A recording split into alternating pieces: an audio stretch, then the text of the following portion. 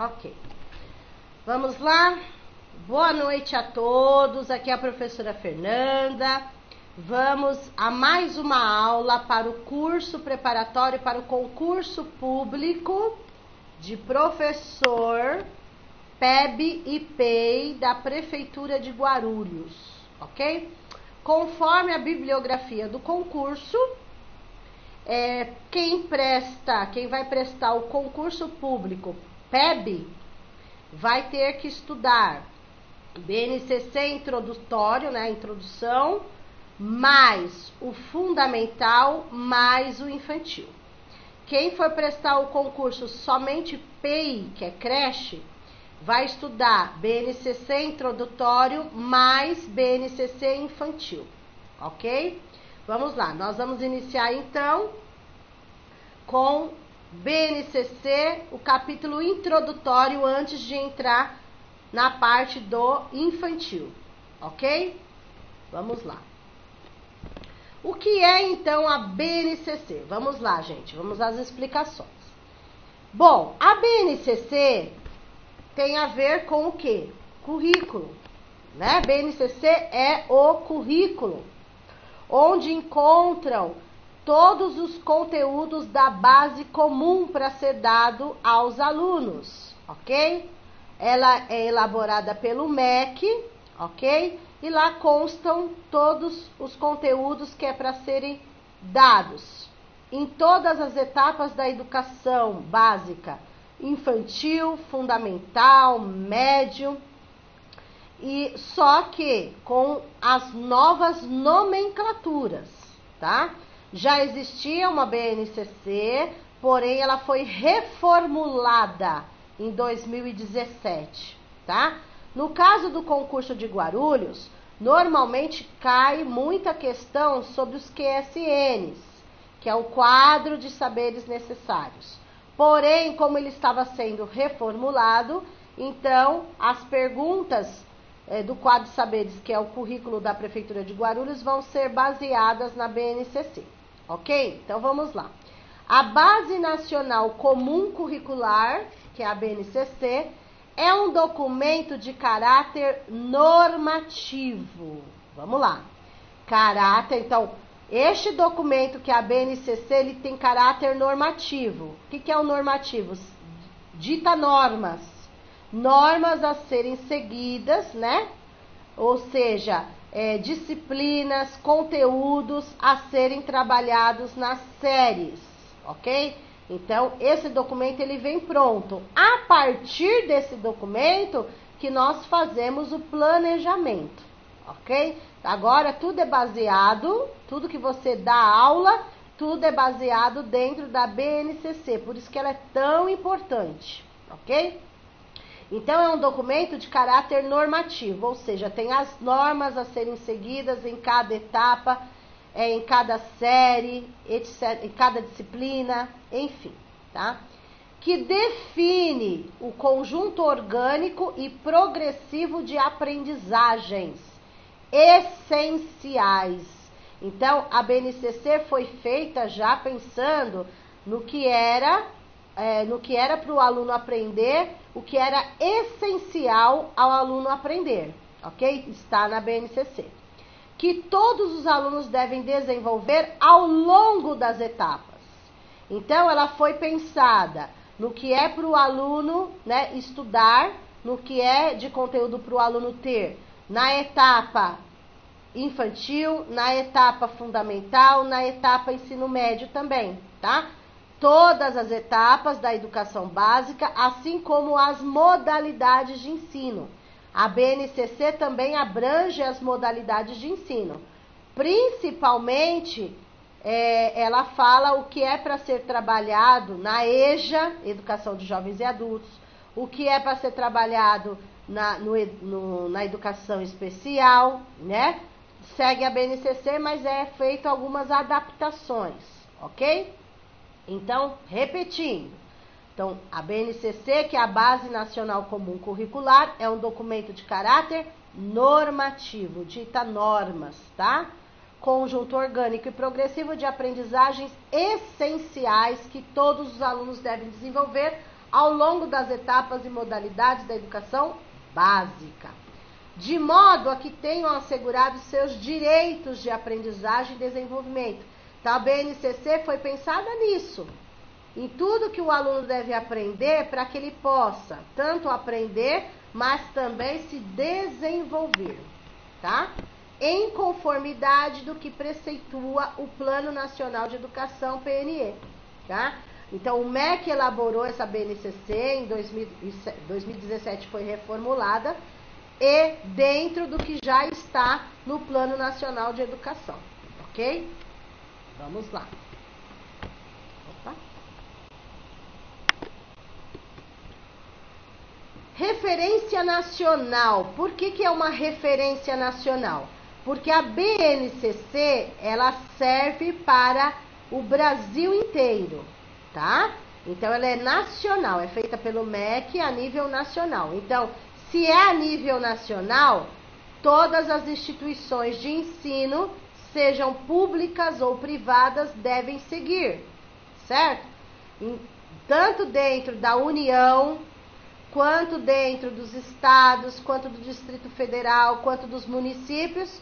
No caso, nosso concurso é municipal, tá? Ele também tem que seguir o que está na BNCC.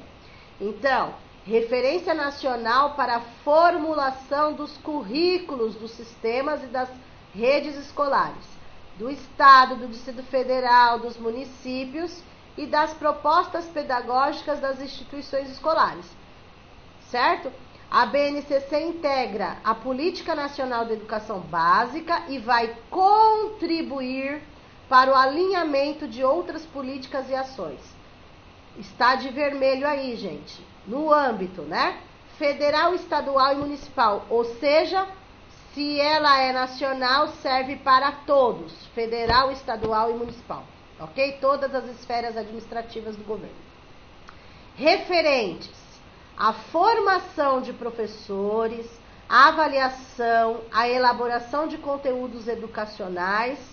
Então vejam, ela foi feita tanto para que os professores, que as escolas, que o sistema de ensino possa saber quais os conteúdos educacionais devem ser trabalhados nas escolas, assim como ela também prioriza a formação dos professores, que a gente vai ver daqui a pouquinho, tá? A avaliação, por quê? O que é trabalhado dentro da BNCC depois é cobrado naquelas avaliações externas, né, para ver como está o aluno, como está a escola, a nota que a escola vai receber. Então, assim, ela já foi pensada em tudo isso, tá? E aos critérios para a oferta de infraestrutura adequada para o pleno desenvolvimento da educação. Então, é, digamos que a BNCC foi reformulada em 2017 já pensando em todas as melhorias, não só nos conteúdos que é para ser dado nas escolas, como na formação dos professores, como numa avaliação externa que vier na infraestrutura toda da escola, tá? Ela foi pensada. Lembrando que a gente não entrou ainda nem no fundamental, nem no infantil. Isto é apenas a introdução, a explicação do que é a BNCC, ok? Continuando. Então, qual é o objetivo da BNCC? Está de vermelho. O objetivo principal da BNCC é superar a fragmentação. Isso tem que ficar bem fixado na cabecinha de vocês, de todos vocês, tá? Qual é o objetivo da BNCC? Ou seja, para que, que foi elaborado a BNCC? Para que, que foi reformulada? para superar a fragmentação. Vamos explicar o que seria essa fragmentação. O que é a fragmentação? É uma quebra, né? Fragmentado, dividido. E a ideia da BNCC é que não seja nada fragmentado, ou seja, que seja dada uma continuidade. Foi pensando nisso. Então, esse superar a fragmentação, justamente é para quê? para que o aluno do primeiro dê continuidade no segundo, dê continuidade no terceiro e assim por diante. Então, dando essa continuidade, não há uma quebra, não há uma fragmentação. Além disso, essa fragmentação também diz respeito, por exemplo, como a BNCC é a nível nacional, então, por exemplo, um aluno que é transferido, seja de qual estado, qual região for, mas, por exemplo, o aluno que mora na região Nordeste, né?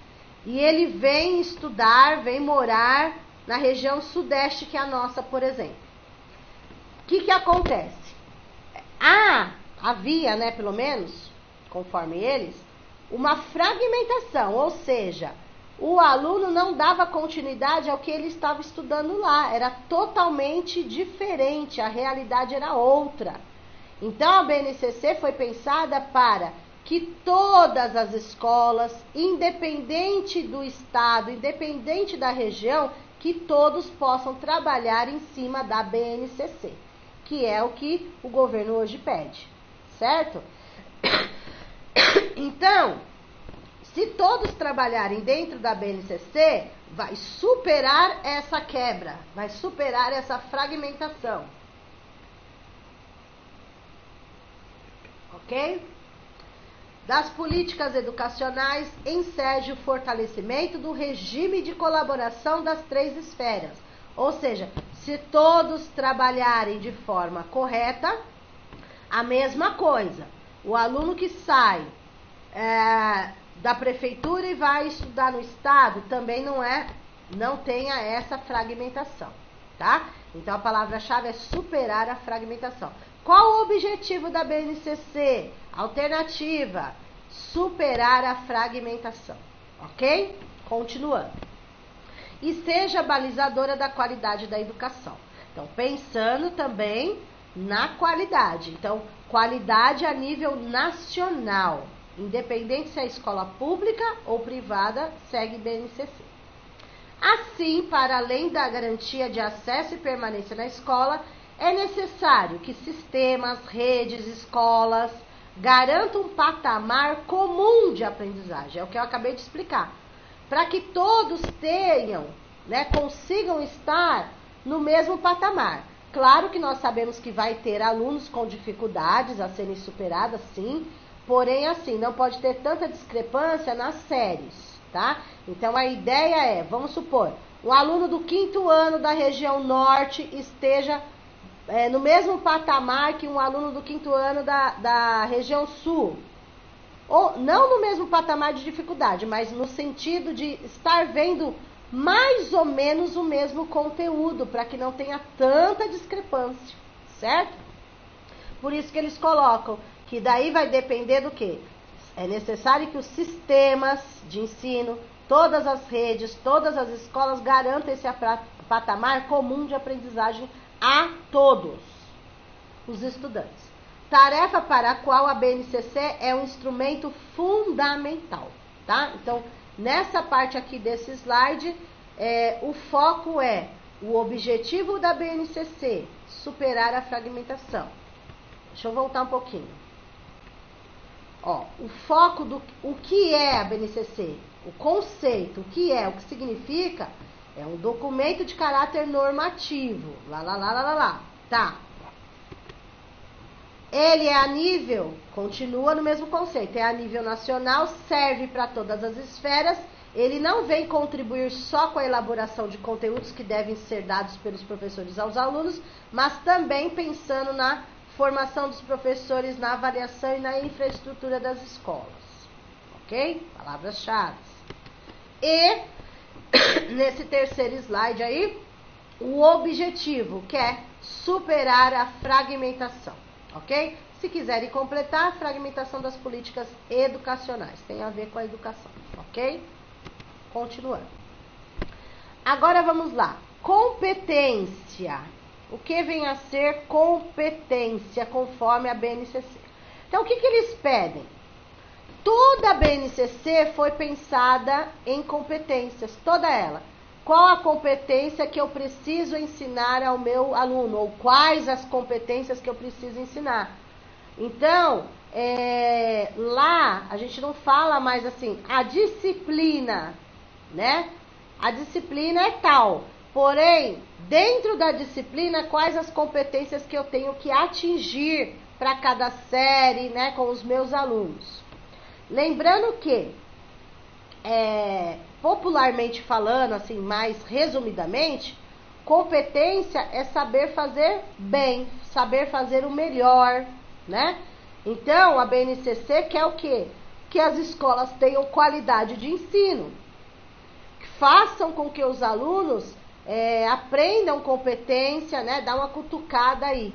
E nós temos que é, verificar quais as competências de cada aluno. Então, pensando nisso, o que, que a BNCC fez? É, Palavra-chave competência, né? Então, na BNCC, competência é definida como? Aí eles colocam três itens que também normalmente caem em concurso público.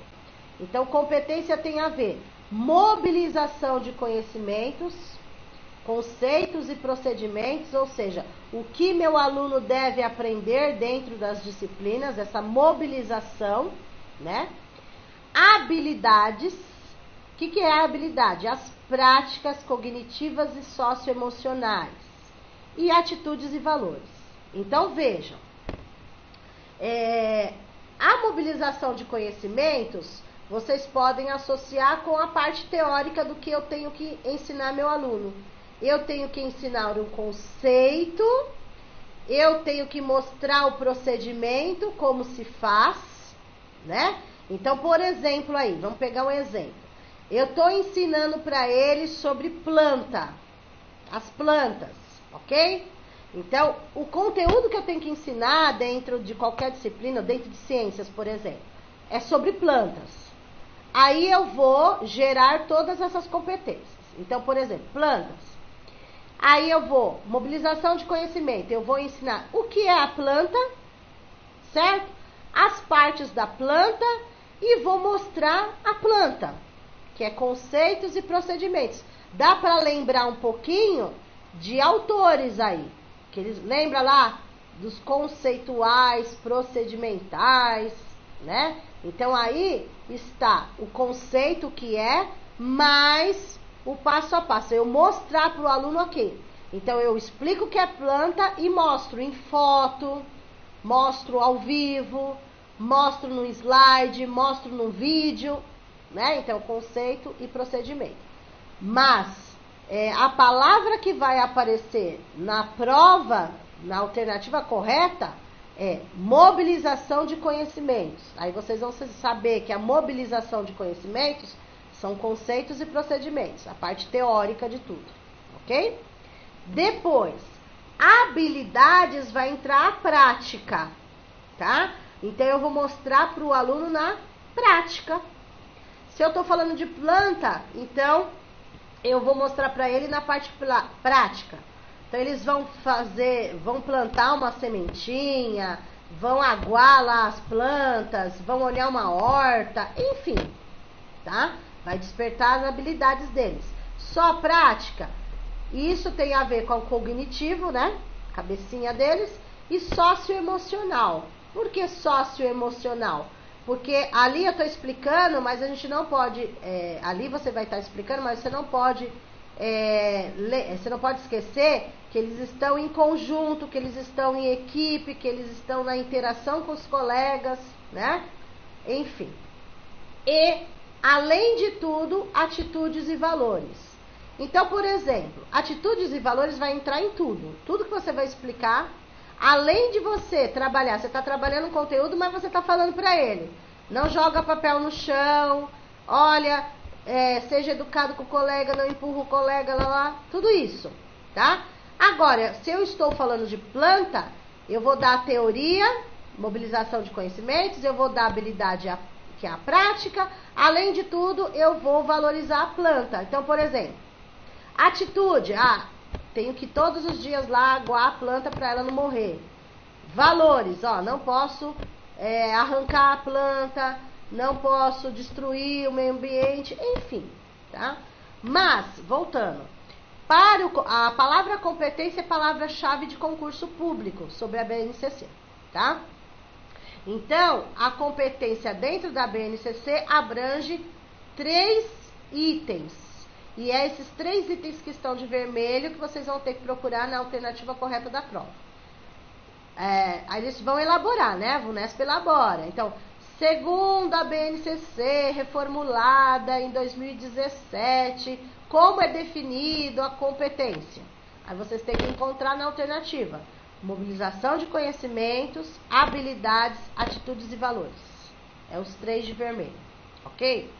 Agora, deixa eu só explicar uma coisinha que me perguntaram, gente, essa semana, independente da aluna, né? É, a diferença de competência e habilidade, tá? É, vamos lá, vou, vou pegar um exemplo tão bem simples. Vamos supor, você é, você se formou em pedagogia.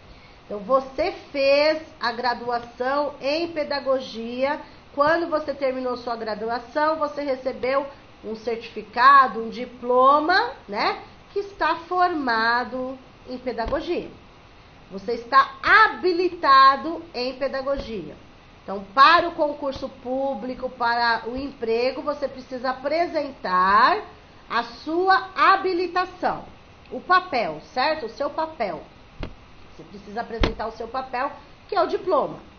Você está habilitado para. Agora, será que você tem a competência para? Habilidade você tem porque você pegou o seu diploma, né? Você tem aquela habilidade. Mas a competência é no dia a dia que você vai aprender. Estou fugindo um pouquinho daqui por causa de uma pergunta que me fizeram, tá? Então já estou aproveitando o momento. Então, habilidade, você tem habilidade para exercer a função de professor. Ponto. Todos nós temos, ok? O diploma lá bonitinho para exercer a função. Mas será que todos têm a competência? Porque competência você vai aprender no dia a dia, na prática, na sala de aula, sempre melhorando a sua aula, sempre procurando fazer o melhor. Isso você vai adquirir a competência. Então, quando a gente fala assim, ah, esse professor é competente. Por que, que ele é competente? Porque ele dá uma boa aula, porque ele se preocupa com o aluno, porque ele prepara a sua aula, ele faz o planejamento, né? Enfim, ele se preocupa com, no geral. Então, ele é um professor competente. Isso a gente vai ver depois nos autores também quando chegar, tá? Então, ele é um professor competente. Então, ele tem habilitação, habilidade para exercer a função Porém, no dia a dia ele vai adquirir a prática. Nem todos conseguem ter essa competência, mas nós temos que procurar sempre melhorar, ok? Só uma, uma explicação à parte aí, tá? Continuando. Então, esses três que estão de vermelho seriam as alternativas corretas da prova do concurso. Vamos lá. Agora, competências gerais da educação básica. Aí começa, né? Gente, as competências gerais, porque é uma palavra-chave competência. Nessas competências que eu vou falar para vocês, vou explicar para vocês, é colocado todas em geral. Aí não está separado se é uma competência do, porque a gente está na parte de, da introdução. Então, aí não está separado ainda assim, ó, as competências do infantil, as competências do fundamental ou competências do médio, não. Aí tá. As competências gerais da educação básica. Então, aí eu vou explicar de uma forma geral, que é o que está na introdução da BNCC, ok? Então, em geral, um, em geral, vai entrar aí dentro infantil, fundamental, médio, tudo, tá? Um, o que, que eles querem com a, com a, dentro das competências da BNCC?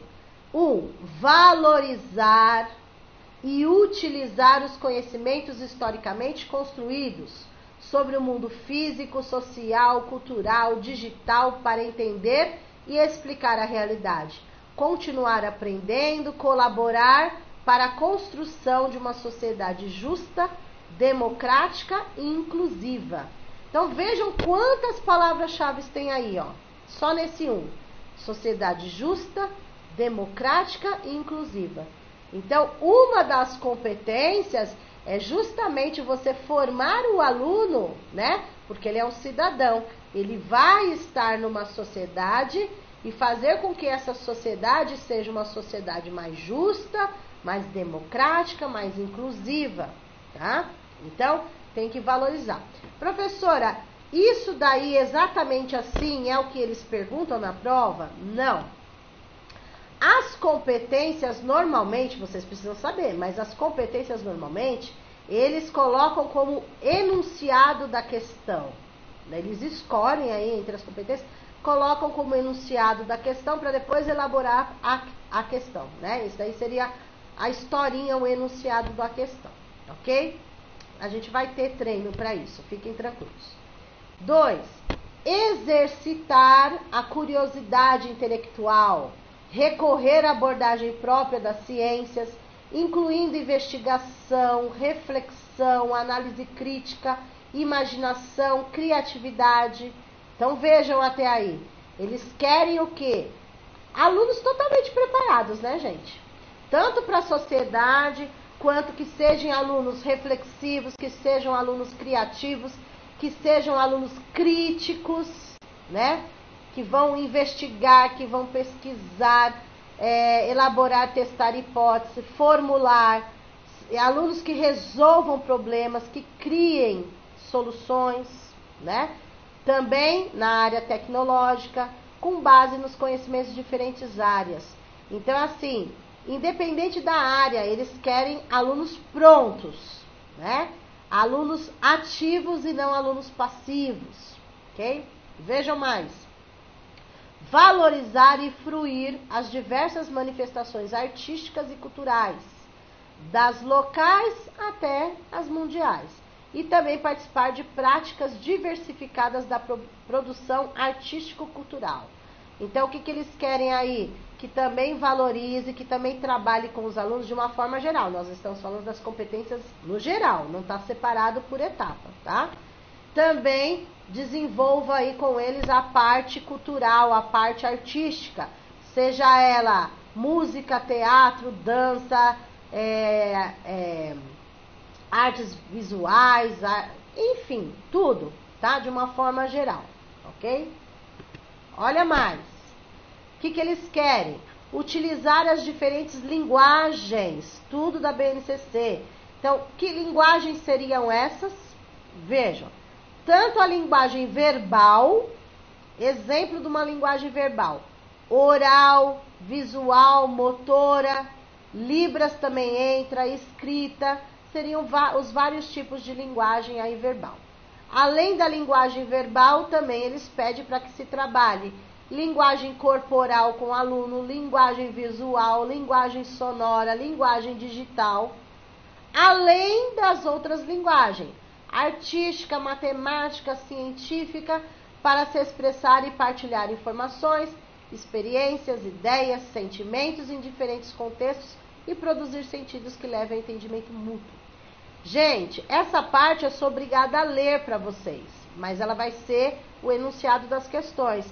Porque aqui está de uma forma geral. E, e na prova do concurso eles perguntam especificamente dentro do fundamental e dentro do infantil, ok? Mas aqui é a introdução ainda. Compreender, utilizar e criar tecnologias digitais de informação e comunicação de forma crítica, significativa, reflexiva, ética, nas diversas práticas sociais, incluindo escolares para se comunicar, acessar, disseminar informações, produzir conhecimentos, resolver problemas, ex exercer o protagonismo. Essa também é uma palavra, aliás, tudo, muitas palavras-chave, né? Às vezes a gente foca em uma, uma mais, né? Por exemplo, a palavra protagonismo é uma palavra-chave da BNCC. Por que o protagonismo? Qual é a ideia? Que o aluno seja o protagonista do seu conhecimento, você só vai ajudar, só vai orientar, só vai mediar.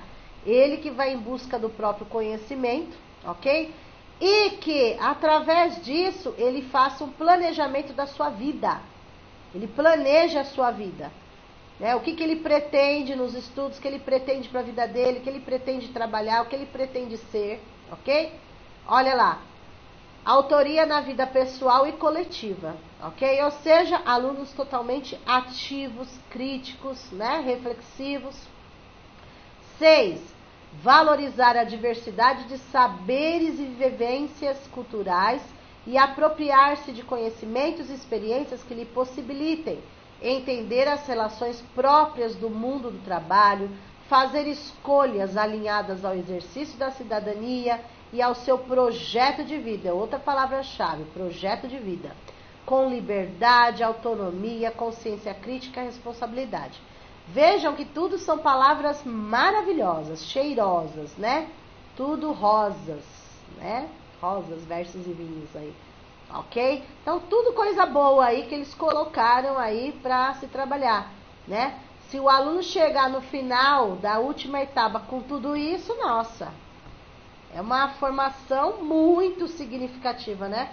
Uma, significa, uma formação totalmente completa. São 10, tá? Estamos terminando essa parte. 7. Argumentar com base em fatos, dados, informações confiáveis. Então, é para ensinar, para o aluno pesquisar e ele dominar algum assunto para ele poder debater, né?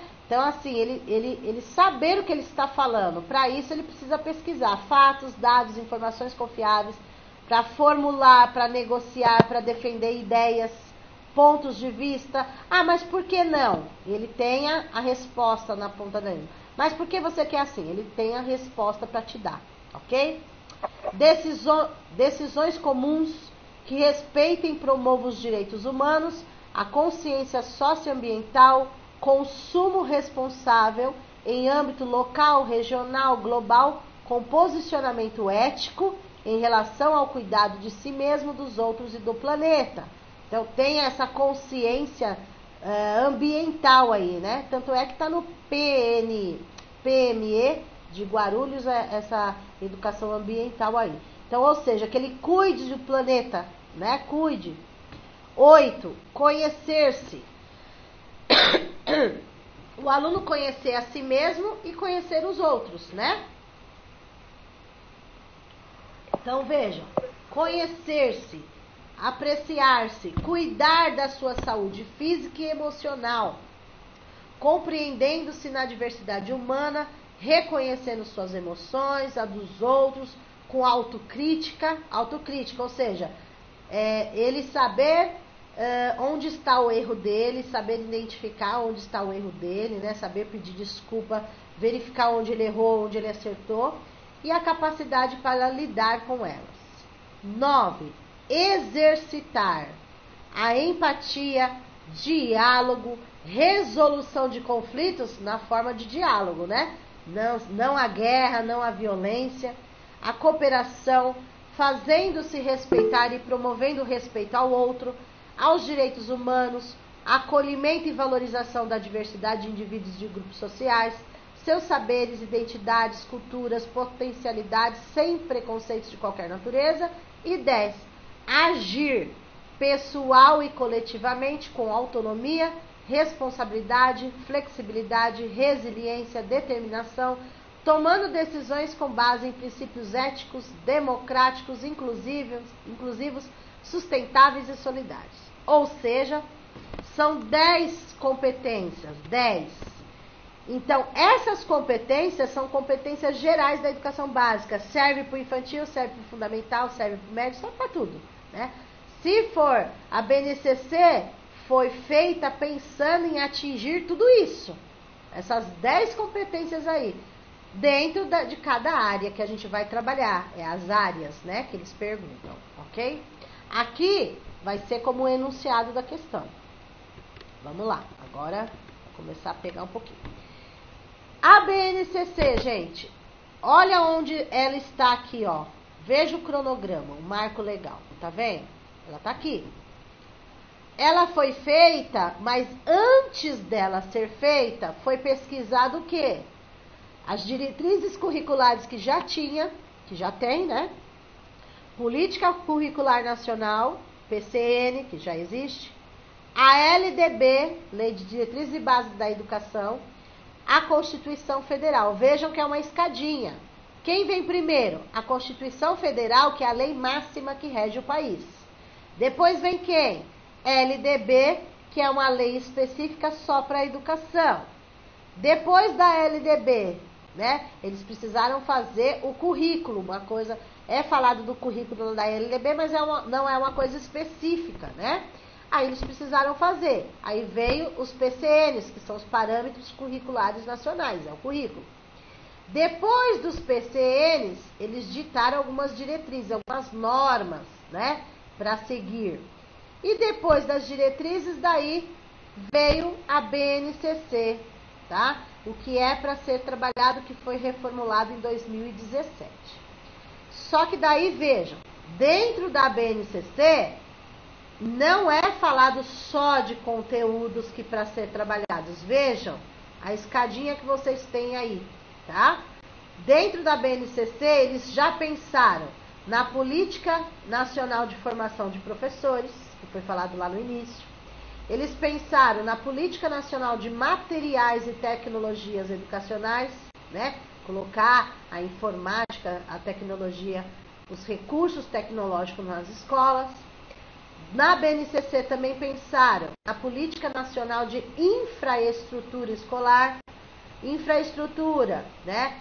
Tudo, se é uma escola que tem uma infraestrutura boa, carteiras boas, tem uma quadra, tem um pátio, tem um, um, um espaço de sala de aula, tem um espaço de uma biblioteca, tem um espaço de informática, enfim, tudo para ajudar no ensino-aprendizagem do aluno, para a sua aprendizagem e para o seu desenvolvimento. Foi pensado nisso. Também foi pensado na Política Nacional da Avaliação da Educação Básica, certo? Então, que, que, que através disso vem o SAEB, né? Que é a avaliação lá do sistema da educação básica como um todo, ok? Então, a BNCC não foi pensando só no conteúdo que é para ser dado nas escolas é mais do que isso ainda. Além dos conteúdos, na formação dos professores, materiais, tecnologias, infraestrutura, avaliação, tudo está na BNCC. Por isso que ela é tão importante assim dar ouvidos a ela, ok? Principalmente para concurso. Vamos lá, continuando. Os fundamentos pedagógicos da BNCC. Vejam que eu tinha falado sobre competências, que é uma palavra-chave da BNCC para o concurso, competência. O que é competência? É fa saber fazer, fazer o melhor, fazer bem. Veja, o que os alunos devem saber, considerando os conhecimentos, habilidades, atitudes e valores, e sobretudo do que devem saber fazer. A mobilização, a ação desses conhecimentos. Então, assim, a pergunta que vem para vocês é: o desenvolvimento dessa competência. Alternativa é saber e saber fazer. Uma coisa é saber, que é o conceito. Ah, o que eu sei? Ah, eu sei que a planta é isso, isso, isso. Tá? Conceito. Eu sei que a planta é assim, que ela tem essas partes, que eu encontro elas em tal lugar. Saber é o que você sabe, o que você ensina para o aluno, saber. Além de saber, ele tem que saber fazer. Então não adianta só, a competência entra nesses dois. Não adianta só saber, tem que saber, que é o conceito, né, a teoria, mas também ele tem que saber fazer, colocar a mão na massa, tá? Então, é saber e saber fazer. Agora, por exemplo, vamos dar um exemplo aqui, a gente está falando de aluno, vamos dar um exemplo melhor para associar melhor. Professores, tá? Você tem que saber o conteúdo para você ensinar o seu aluno, certo? Então, saber o conteúdo. Vamos supor, ah, eu preciso ensinar antônimo e sinônimo para o meu aluno. Um conteúdo lá da língua portuguesa. Tem que ensinar. Então, eu tenho que saber o que? O conceito. O que é antônimo, o que é sinônimo, tá? E depois, o saber fazer. Eu tenho que colocar é, exercícios, atividades, né, na prática para saber se eu aprendi aquilo. Então, você, como professor, além de dominar o assunto, de saber o conteúdo, você vai ter que saber passar para o seu aluno. Ou seja, você, no caso, é o saber fazer, é você ensinar o seu aluno né? Então não adianta você só saber. Porque se você souber só para você, não vai adiantar, porque você tem que passar para o seu aluno, você vai ter que ensinar o seu aluno, então não adianta só saber para você. Você vai ter que saber e saber fazer.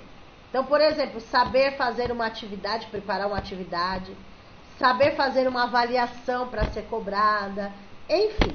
Então, essas são duas palavras, além da competência, essas são duas palavras-chave: saber e saber fazer, tá? Já caiu em prova de concurso recente esses dois. É só saber. Aí tava lá uma pegadinha. É só saber? Não. É saber e saber fazer. É dois saberes aí, tá? Repete mesmo a palavra na resposta. Saber e saber fazer. Ok? Continuando aí. A gente já tá chegando na parte que eu preciso, tá? Mas eu tenho que passar por todo esse processo aqui. O compromisso com a educação integral, tá? Fiquem tranquilos, gente, que como agora os, os as videoaulas, gravações não vão mais para o Drive nem para o e-mail, agora é direto no YouTube, tá? Então não vai precisar eu ficar parando a aula para gravar 40 minutos, porque o YouTube aceita agora normal, tá bom? Então, a hora que tiver que parar, eu paro, mas sem se preocupar com o tempo, se é 30 minutos, se é 40, tá bom? Isso é muito bom. Facilitou minha vida também. Vamos lá. O compromisso com a educação integral. Veja um detalhe, gente. Quando a BNCC fala do compromisso com a educação integral, não é a educação tempo integral. Não é essa educação que eles estão falando. Educação de tempo integral é uma coisa, né? As escolas que ficam o dia todo, ok? Não é isso. Aqui está falando com o compromisso com a educação integral, ou seja, com a educação que faça o desenvolvimento integral com seus alunos, tá? Então veja, professor, o que, que a BNCC quer, requer do professor? Que ele seja um professor, agora tudo coisa boa, hein? Coisa boa no sentido também da cobrança em cima do professor, né? Então vamos lá.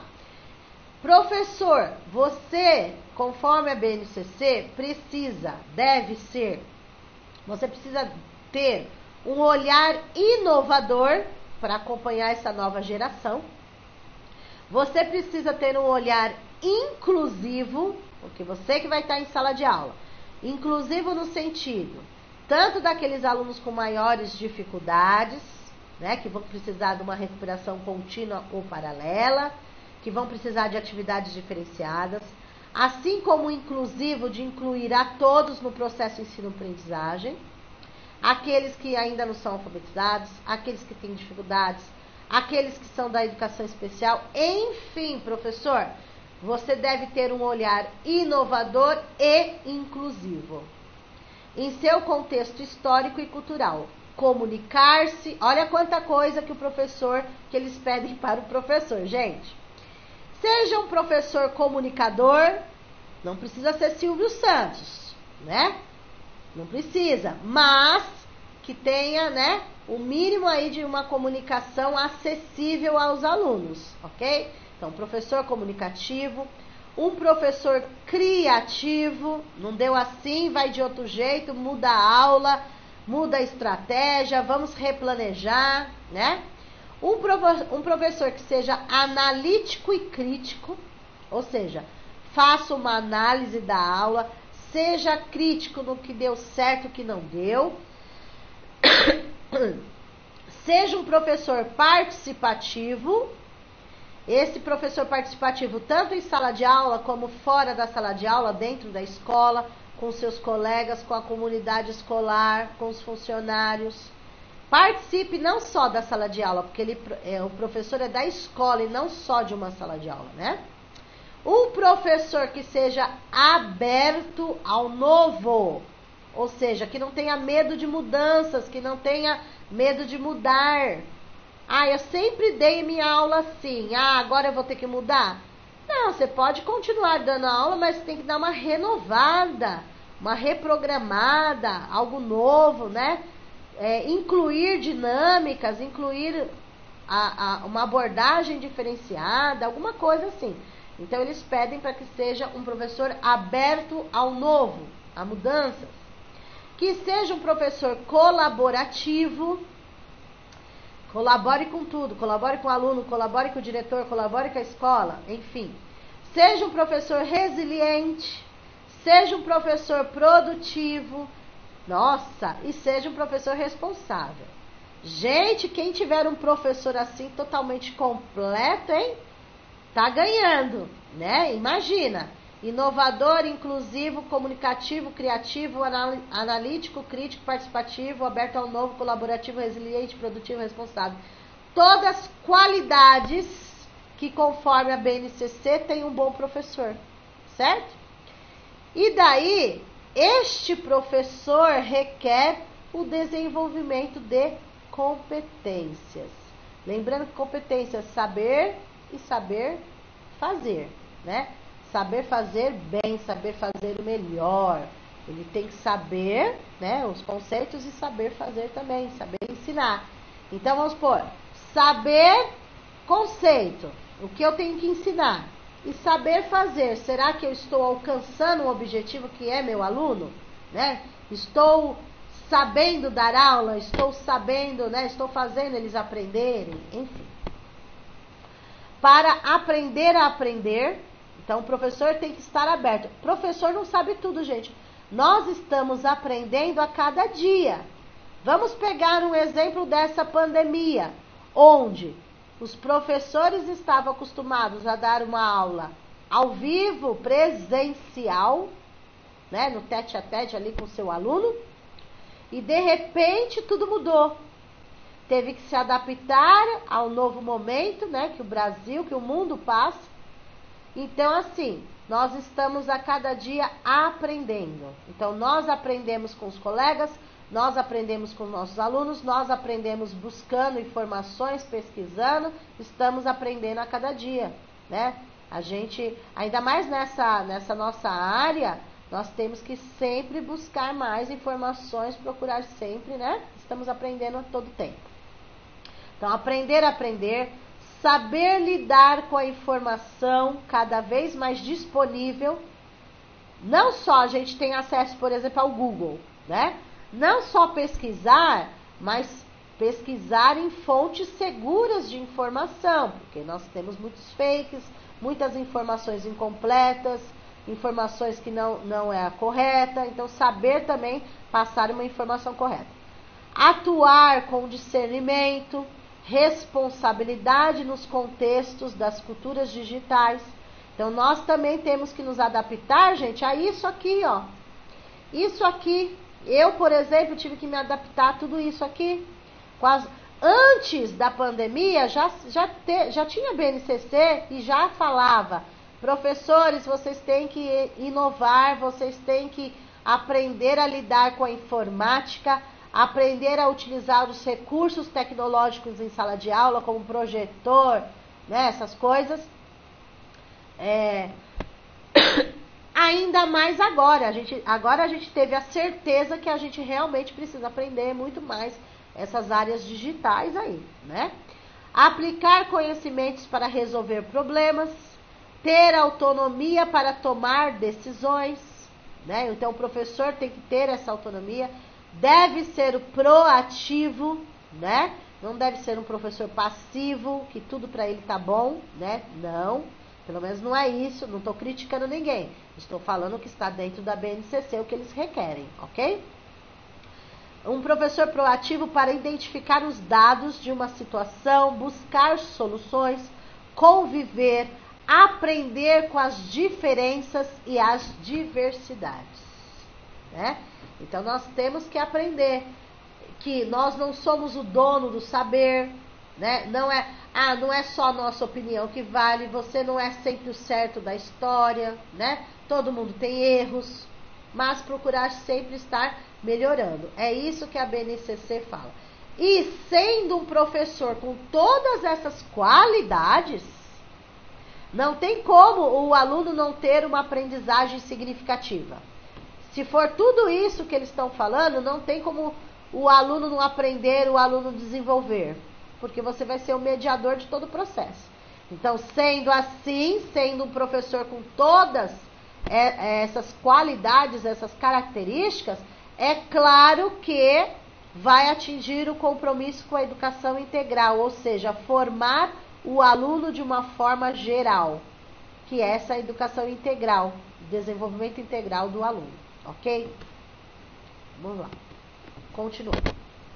Nesse contexto, a BNCC afirma de maneira explícita o seu compromisso com a educação integral.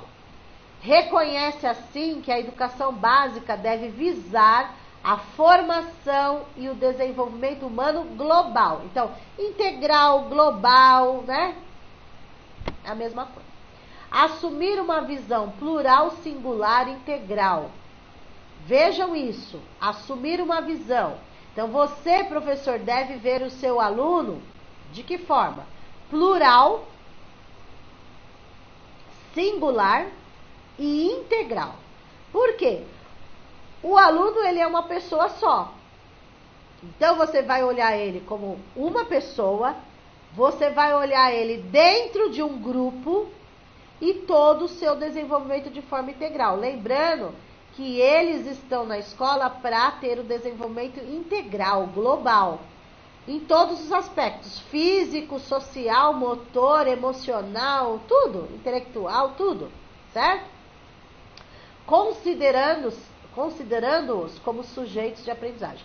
Então, nós, professores, conforme a BNCC, temos que considerar essas crianças, esses adolescentes, esses jovens, esses adultos, todos estudantes, como sujeitos de aprendizagem, que eles conseguem aprender. Tá?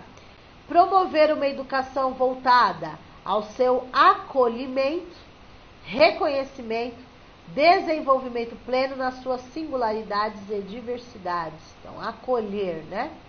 Além disso, a escola, vejam aí, isso é importante. A escola é um espaço de aprendizagem e democracia inclusiva. Ou seja, é um espaço de aprendizagem para todos, todos devem ser incluídos porque a democracia é direito de todos, então todos têm o direito à educação. Então nós temos que incluir a todos nesse processo de aprendizagem. Deve se fortalecer na prática coercitiva de não discriminação. Então, ensinar os alunos através da BNCC, dos conteúdos, né? Ensinar também a questão da não discriminação, né? De nenhuma forma. Não preconceito, respeito às diferenças e às diversidades. Educação integral com o qual a BNCC está comprometida se refere à construção intencional. Outra palavra-chave aí, intencional. A BNCC foi feita intencionalmente, propositalmente, né? Ela já fez pensando em tudo isso, ok? de processos educativos que promovam aprendizagens sintonizadas com as necessidades. Então eu tenho que trabalhar pensando a realidade da minha sala de aula, a realidade do meu aluno e quais as necessidades deles. Quais as necessidades da minha sala? Quais as necessidades dessa turma de alunos e dessa turma, daquela turma de alunos? Né? As possibilidades, os interesses dos alunos isso conta muito conforme a BNCC. Fazer os alunos, instigar os alunos, né? Para eles terem o prazer de aprender aquilo. E você falar por que, que ele está aprendendo aquilo, ok? Então, tem que instigar. É, os interesses dos estudantes da jornada escolar e também com os desafios da sociedade contemporânea. Isso supõe considerar as diferentes infâncias e juventudes as diversas culturas juvenis e seu potencial de criar novas formas de existir. Gente, eu tenho que passar toda essa parte teórica, mas depois vocês vão ver na prática, tá? Daqui a pouco a gente vai passar para a parte prática. Mas tudo isso aí é a parte teórica que tem que ser dada mesmo. Depois fica mais tranquilo, porque a parte prática a gente vai fazer simulado ainda na aula, tá? E aí vocês vão ver. Mas eu tenho que passar, porque tem várias palavras-chave aqui, ok? Daqui a pouco a gente chega onde eu preciso. O Pacto Interfederativo e Implementação da BNCC. Então, assim, já foi falado que ela foi renovada aí, foi reformulada em 2017.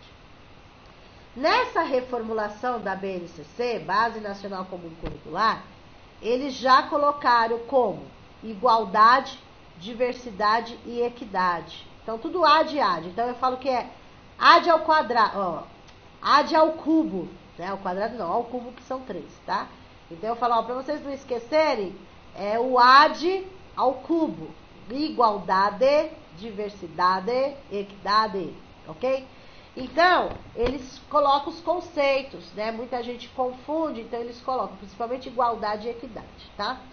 Essa parte aí eu vou explicar, mas depois eu vou mandar um desenho para vocês. Circula muito esse desenho, né? E caiu justamente esse desenho numa prova de concurso, se eu não me engano, foi de São Paulo.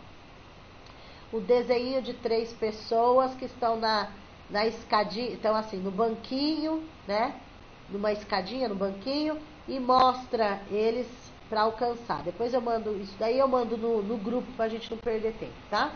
Então, eles, o que, que é a diversidade? Diversidade para todos, incluindo a educação especial e os povos, povos indígenas. Ou seja, a educação, a BNCC foi feita para todos.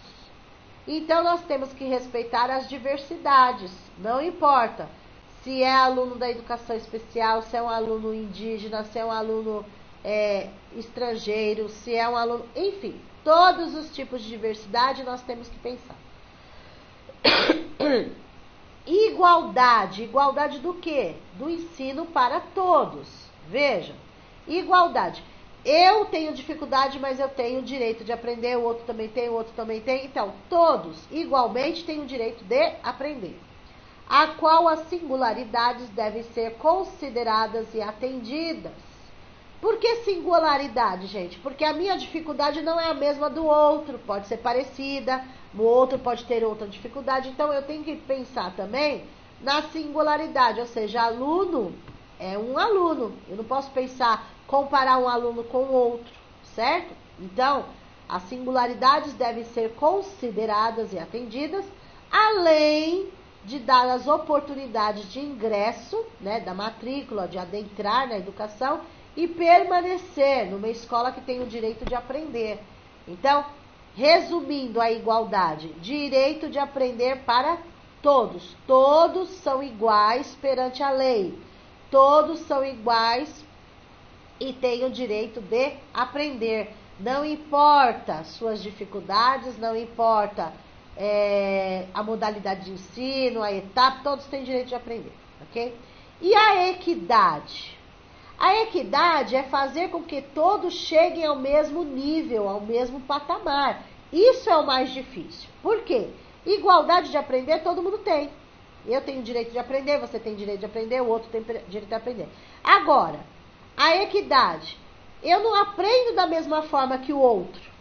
Eu sou mais devagar, o outro aprende mais, mais, mais ou menos, o outro aprende mais rápido. O que, que é a equidade? É fazer com que todos consigam chegar ao mesmo patamar, ao mesmo nível, superem todas as dificuldades e consigam atingir a mesma, o mesmo nível, a mesma coisa.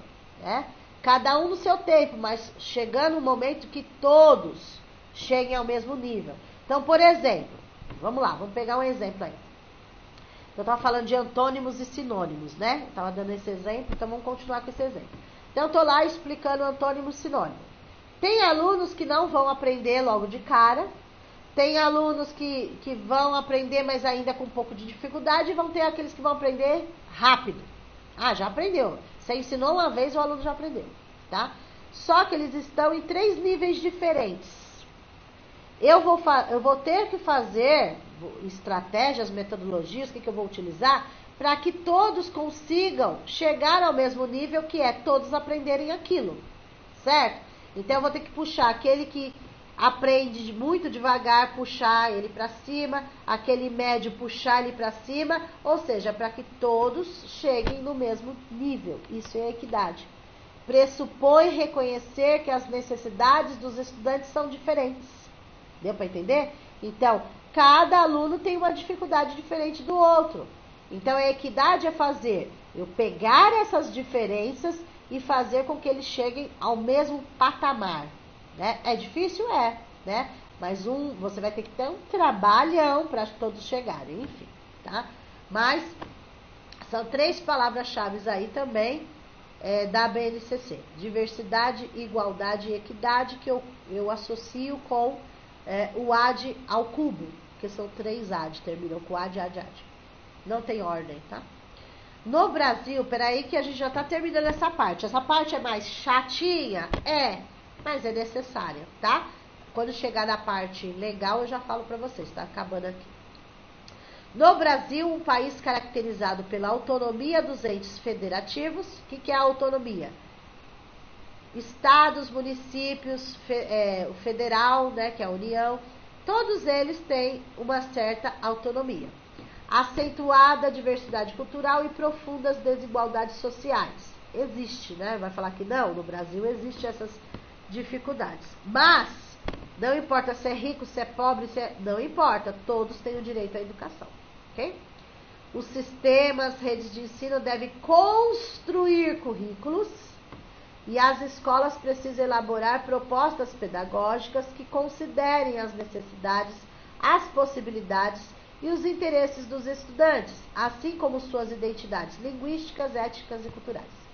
Vejam, mesmo tendo a BNCC, mesmo eles falando vai seguir a BNCC, nem tudo, gente, que está na BNCC você consegue dar naquela série, certo? Por isso que tem o planejamento. Então vamos supor, lá na BNCC está assim, terceiro ano, é, ensinar multiplicação e divisão. Um exemplo, tá? Mas dependendo da realidade da sua sala, você não vai conseguir dar este conteúdo para seu aluno, né? Porque são realidades diferentes. Daí você vai jogar mais para frente, né? Então vamos supor, se ali tá para ser dado, vai, no primeiro semestre, primeiro bimestre, sei lá. Você não vai conseguir, você joga para o último bimestre. Né? Então, é, tem essa autonomia através do planejamento que você faz. Porque a BNCC foi pensada para todos. Só que dentro da sala de aula você sabe a realidade da sua sala. Então você vai pegar a BNCC, ver o que é para ser dado, fazer o planejamento. E no planejamento ele é flexível. Né? Então você vai mudando conforme a realidade da sua sala. Tá? Foquem aí nessa última parte, por favor tá? Além das palavras diversidade, igualdade e equidade, foquem aí na última parte. A educação tem um compromisso. Isso é resposta de concurso público, tá? Tanto as palavras diversidade, igualdade e equidade são palavras-chave para concurso como alternativa correta de uma questão Assim como o que eu vou falar agora também é resposta da pergunta de concurso sobre BNCC. Então, a educação tem um compromisso com a formação e o desenvolvimento humano global em suas dimensões intelectual, física, afetiva, social, ética, moral, simbólica, enfim, todas as dimensões vão englobar. Porque quando fala desenvolvimento humano global, é tudo. É tudo da vida da pessoa, tudo geral, ok? E daí, a educação tem um compromisso com a formação. Então, duas palavras muito importantes aí. O compromisso com a formação e desenvolvimento humano global. Tá? A educação, repetindo, a educação tem um compromisso com a formação o desenvolvimento humano global. Isso são palavras-chave aí. Tudo bem? Vamos lá. Terminando, deixa eu ver se está terminando. Tá, tá terminando já. Fiquem tranquilos, gente. Essa parte é a mais chatinha, tá? Mas precisa. Nesse slide aqui, duas palavras bem chaves aí é o currículo em ação e participação das famílias e da comunidade. São essas palavras-chave. Uma está de azul, outra está de vermelho. Tá? Então, assim, o que, que é o currículo em ação? Marquem bem essa palavra, que é palavra de concurso, né, no, na prova.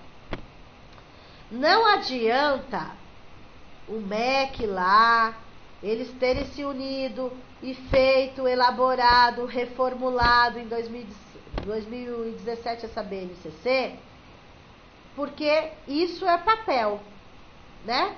Foi feito o documento, tem aí na íntegra, que eu vou mandar até para vocês na íntegra, a BNCC, diretamente do MEC, tá?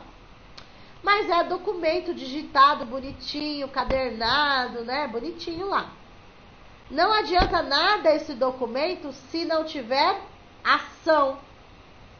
Então, transformar esse documento BNCC, que é o currículo, num currículo em ação. Ou seja, colocar em prática isso na sala de aula, nas escolas.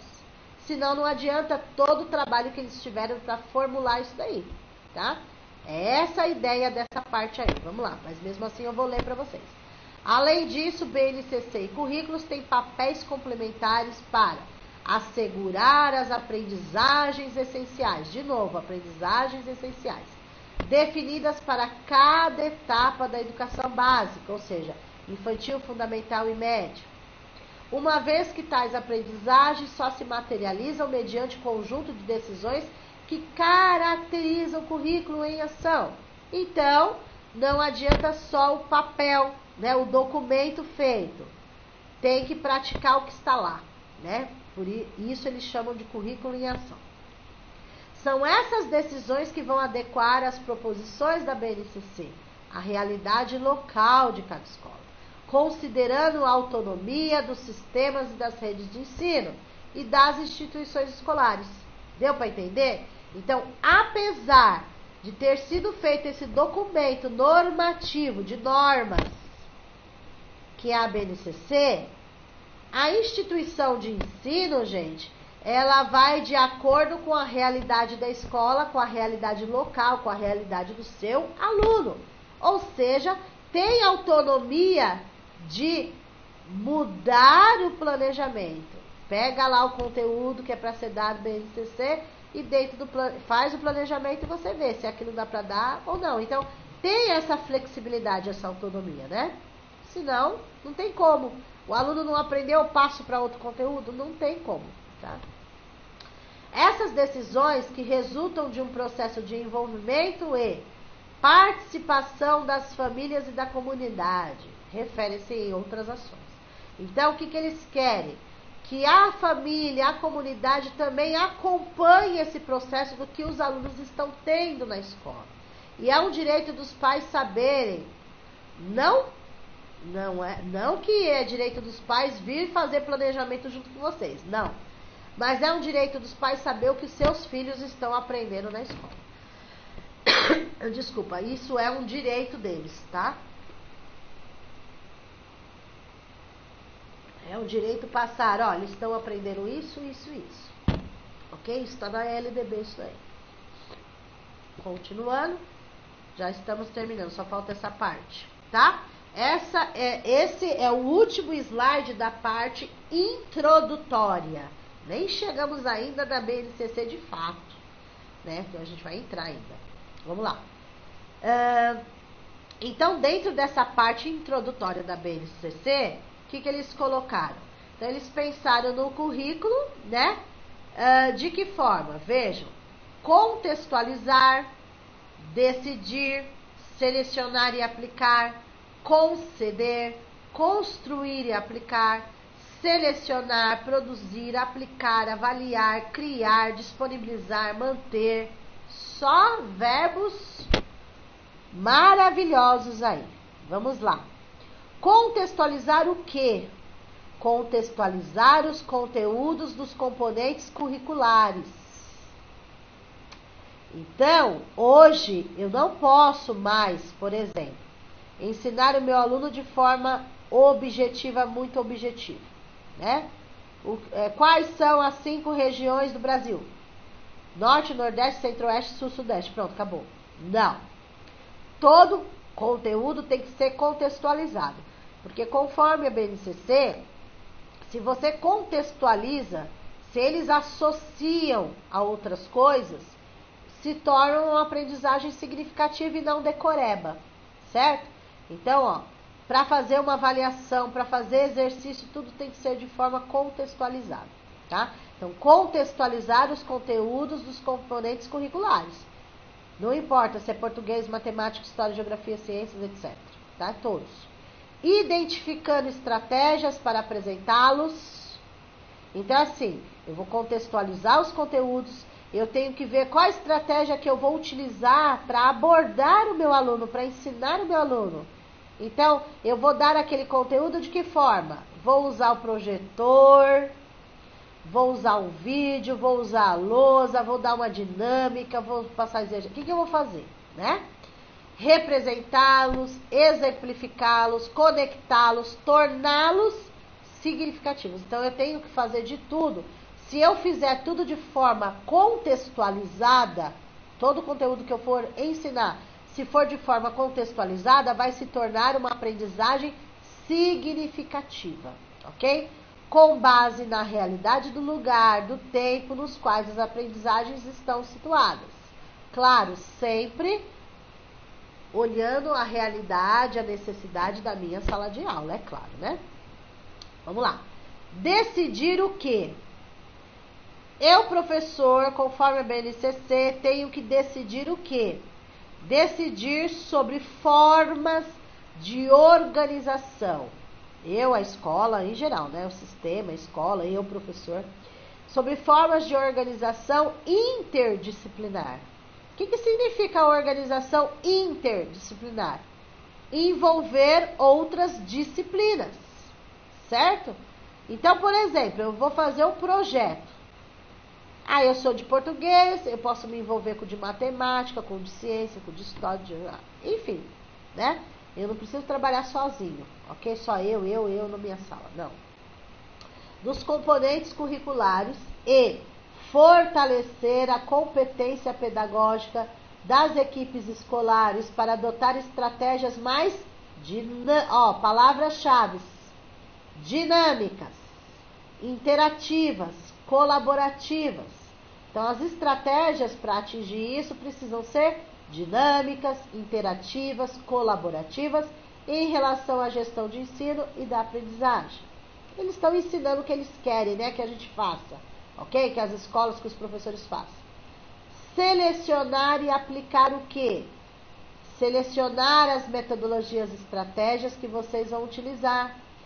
Então, assim, cada professor ensina de uma forma, né? Ah, eu sou mais construtivista, eu sou mais tradicional, eu misturo tudo, né? Então o professor tem autonomia de selecionar e como vai aplicar isso daí nas suas aulas, tá?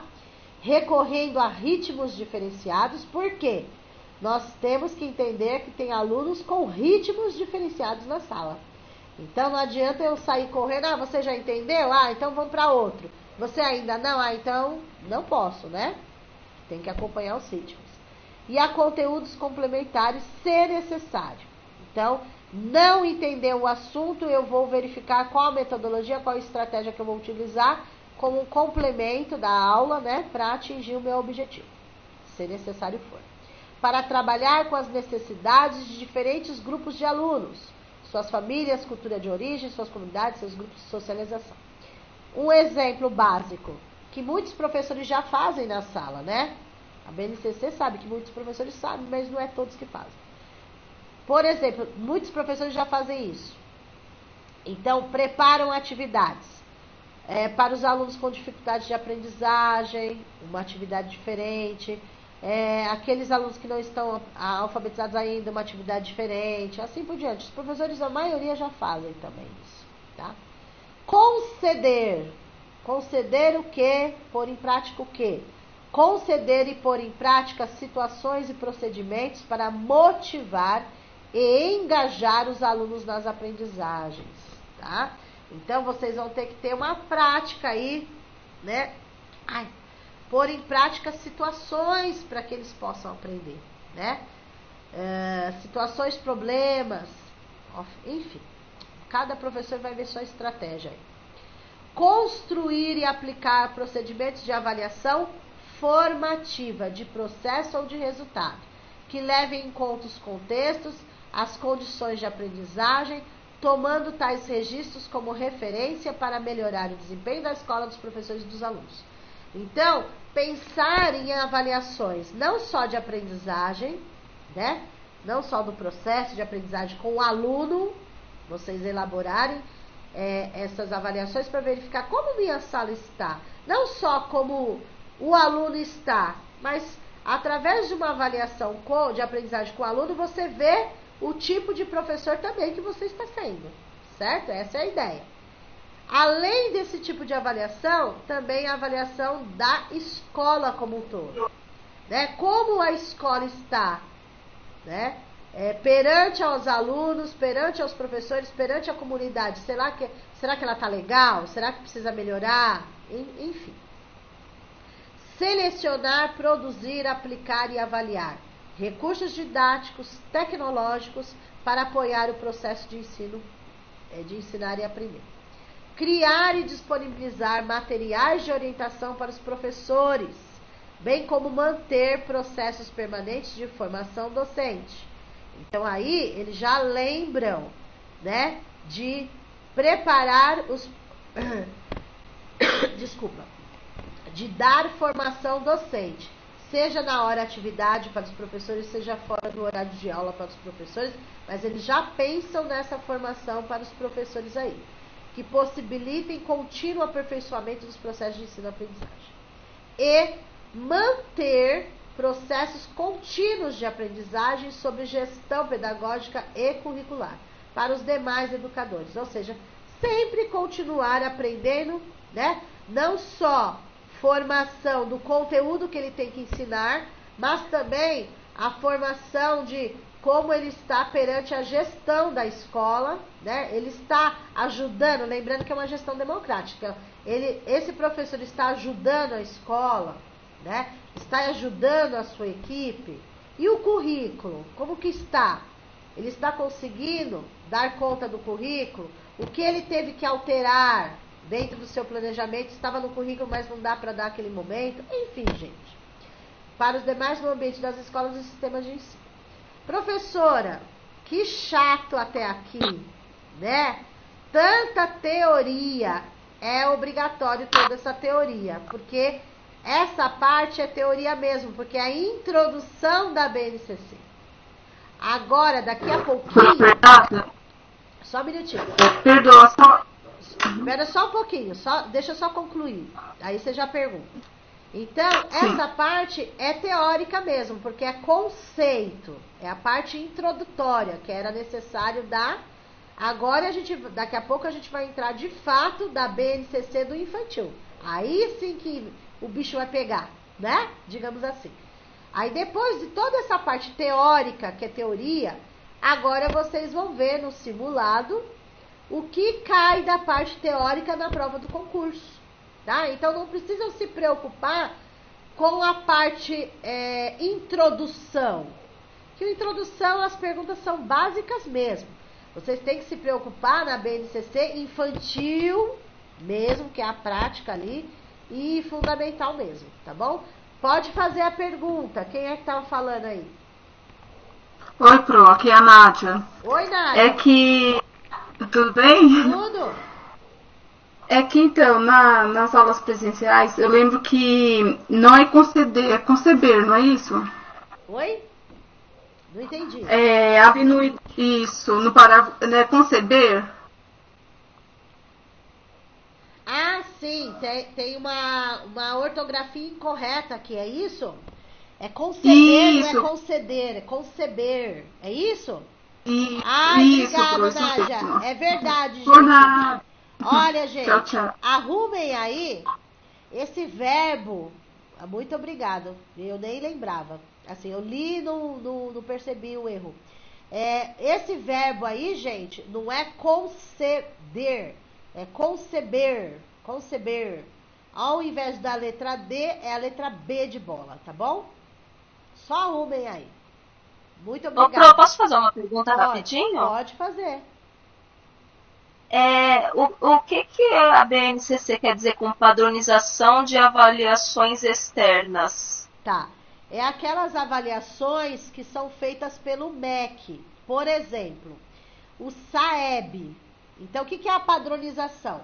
Para que essas avaliações sejam iguais, ou seja, padronizadas, e sejam iguais independente do estado, independente da região. Então, por exemplo, a mesma avaliação que o MEC fez para a região sul deve ser a mesma para o norte, nordeste, centro-oeste, sudeste, entendeu?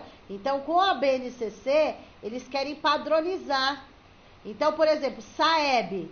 Um, uma das avaliações que o MEC faz é o SAEB, a prova do SAEB, que todo mundo faz. É, município faz, estado faz, né? Tudo faz. E daí, essa mesma prova, né? Vamos supor, a mesma prova que foi elaborada para o quinto ano, seja aplicada independente se é no Sudeste, independente se é no Norte, Nordeste, Centro-Oeste, ou seja, é padronizar que essa avaliação externa seja igual. E só pode ser igual se todos estiverem utilizando a BNCC, entendeu? Porque se não estiverem seguindo, o aluno vai fazer essa avaliação, o MEC vai elaborar essa prova segundo a BNCC, só que daí vai chegar nas escolas, eles não vão ter visto isso. Entendeu? Então, essa é a ideia da BNCC. Claro, gente, isso é concurso público, a gente tem que aceitar tudo que está aí, certo? Agora, a gente sabe que na prática, nem tudo que está, que vocês vão estudar agora, na BNCC, é o que dá para dar para o aluno naquela série. A gente sabe que a nossa realidade é complicada, né? Tudo bem? Deu para entender a padronização da avaliação externa? Deu, deu sim, obrigada. É que é, algumas vezes a padronização, a palavra padronização ah, aparece como tá. forma negativa, Isso, né? Isso, é verdade. Na ver... Ah, foi bom você ter falado. A palavra padronização, normalmente em concurso público, ela é negativa. Isso é verdade. Porém, nessa situação. Aí eu errei a questão aqui, eu errei. Você errou? É? então, assim, agora, na BNCC, a, a padronização, ela não é tão negativa ainda, né? Porque ela tem a ver com aquele superar a fragmentação, né? Vai superar, ou seja, porque a fragmentação, cada lugar faz do jeito que quer. Agora, se todo mundo, né, padronizar e todo mundo seguir a BNCC, então vai poder eles fazerem uma avaliação para todo mundo. Enfim, vamos ver aí. Tá ok, tá bom? obrigada. Nada, meu amor. Mais. Vamos lá. Vamos fazer um simuladinho aí. Ai, eu não acredito. Gente, agora deixa, porque depois das outras eu confio. O simulado aqui já está com as respostas. Eu esqueci de apagar. Mas agora vamos continuar para depois a gente parar, tá? Quando for a BNCC do infantil, eu tiro, tá? Não, não, desculpa, gente. Não tá com as respostas, não. Eu só grifei o enunciado para diferenciar. Tá bom? Então dá para. Oi, onde, Pode falar. onde estão as questões que eu tô com a apostila de quando era presencial? Essas questões não, não estão na apostila, elas estão nos slides. Ah, Slide. Tá bom. Só nos slides. Tá. Ela não está na apostila, não. Tá, obrigada. Vamos lá. O artigo 26 da LDB, em vigor, afirma que os currículos da educação infantil devem contemplar a Base Nacional Comum Curricular, que é a BNCC. Ponto. Isso é o enunciado, né? Para eles. Isso é a contextualização. Tem que contar uma historinha, né? Para dar uma introdução, para depois fazer a pergunta, tá? Em dezembro de 2017, Conselho Nacional de Educação, que é do MEC, né? Que fica no MEC, aprovou. Sobre esse tema, é correto afirmar que a BNCC é um documento de caráter Olha que básico a questão da VUNESP, nesse sentido, da introdução. Né? Normativo. O né? que, que é, gente? Pode, pode soltar o áudio aí hoje, vai. Normativo. Normativo. Normativo. Normativo. Normativo. Nem precisaria, né? Letra B de bola. Por quê? Ele só é um documento normativo, normas. Reflexivo tá fora, opcional tá fora, sugestivo tá fora. Né? Ok, gente? É só normativo. Então, assim, uma dica para vocês. É, quando tiver uma questão dessa na prova, é que vocês acabaram de ver o conteúdo, mas tem que lembrar que é um documento normativo, BNCC normativo, BNCC normativo, ok? Quando tiver uma questão dessa na prova, vocês não precisam ler a questão inteira, a resposta inteira. É a dica que eu dou para vocês, duas dicas. Fixa isso. Vocês não podem perder tempo para resolver as questões da prova, porque tem que sobrar tempo para redação. Então, assim, quanto menos tempo vocês responderem uma questão, lógico e com atenção, melhor para vocês, ok? Então, por exemplo, eu nem precisaria ter lido toda essa introdução aqui, esse enunciado. Eu iria direto na pergunta. A pergunta começa do ponto final para frente. Vejam. Sobre esse tema, que tema? BNCC. Sobre esse tema, é correto afirmar que a BNCC é um documento de caráter. Eu só iria ler isso. Agora, se a pessoa não entendeu, aí lê tudo. É a primeira dica. A segunda dica, quando há uma questão que tem a vírgula, presta atenção. Vem uma palavra vírgula, uma palavra vírgula, uma palavra vírgula, uma palavra vírgula, vocês vão pela eliminação. Vocês só leem a primeira palavra, para vocês não perderem tempo com tudo isso, porque é tudo igual. Eles só mudam a primeira palavra, tá? Então, ó, eu só tenho que olhar. Aí com o lápis, porque não pode usar o marca-texto no dia da prova, tem que ser o lápis, né? Uma vez eu fui pega porque eu estava usando marca-texto, porque eu estou acostumada com marca-texto, né? Mas tem que ser lápis ou a caneta, né? Aí vocês, no dia da prova, o que vocês fariam? Ri, é, grifa, reflexivo, normativo, opcional e sugestivo. Só essas palavras. Vocês sabem a resposta, porque vocês acertaram a letra B. Mas vamos supor que no dia da prova, né? Que é tanta coisa, aí vocês vão. Bom, eu estou na dúvida. Vamos supor se vocês estivessem na dúvida. Vamos lá. Eu tenho que ir pela eliminação. Então, ele pode ser reflexivo? Até pode, porque a palavra. Aí vocês iriam pensar nesse, nessa situação. A palavra reflexivo é uma palavra-chave de concurso. É uma palavra positiva, não é uma palavra negativa. Então, deixa ela aí. Deixa aí. Normativo. Ah, quando eu estudei a BNCC, foi falado de normativo, que são normas, né? Então a BNCC foi feita para seguir, tá? Opcional. Ah, opcional já é negativo. Eu não escutei essa palavra em nenhum momento no concurso. A gente não estudou nenhuma lei que falasse opcional. Eu sigo se eu quiser, né? Então, por exemplo, a BNCC ela não é opcional. Eu, a partir dela, eu monto o meu planejamento. Então, ela é para ser seguida. Então, se ela é normativa, ela não pode ser opcional. Sigo se eu quiser, né? E sugestiva. Ah, é um documento sugestivo. Eles estão dando sugestão. Se você quiser seguir, também não, certo?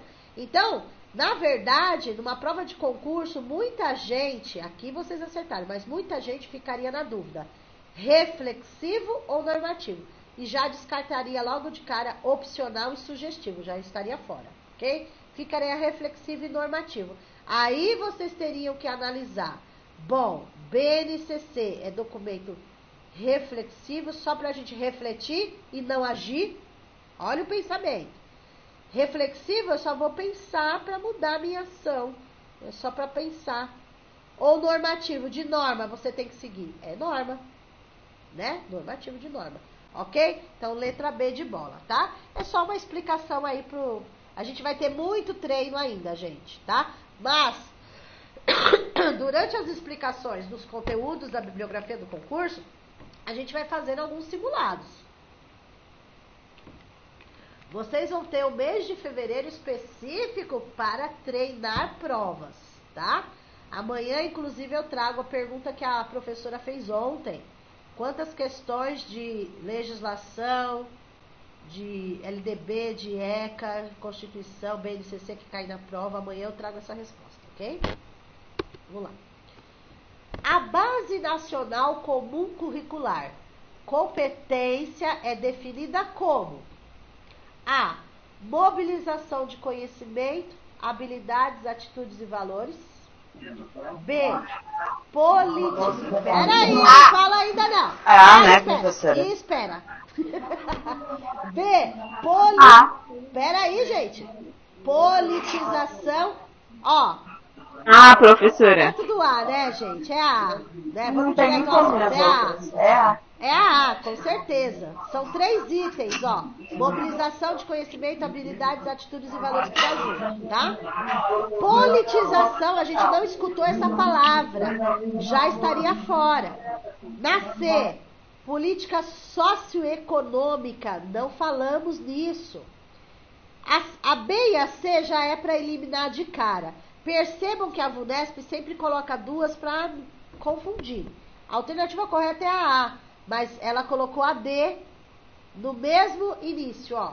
A mobilização de conhecimento estaria certo. Diversidade e economia. Diversidade até né, é palavra de concurso, mas economia não. Tá? Deu para entender? Então, assim, a parte introdutória, as questões são fáceis. Se cair algo da parte introdutória, é fácil a parte introdutória. Agora, a, a, a as outras partes são mais difíceis, que a gente tem que estudar mais, ok? Então, a alternativa correta aí, letra A. Vamos lá. Essa questão eu coloquei colorida para separar mesmo. Gente, agora presta, não dê, não dê a resposta, não abra o áudio para já dar a resposta logo de cara não, vocês vão ter que esperar, tá bom? Porque uma questão dessa, com certeza, muitos professores fariam o seguinte: vou pular, é muita coisa, eu não sei a resposta, sem tentar, sem tentar. Deu para entender? Mas no dia da prova, o que, que vocês vão pensar? Eu preciso de um ponto a mais, eu preciso passar na frente do meu concorrente. Vocês não podem ser hipócritas, né? No bom sentido, tá, gente? Não se ofendam.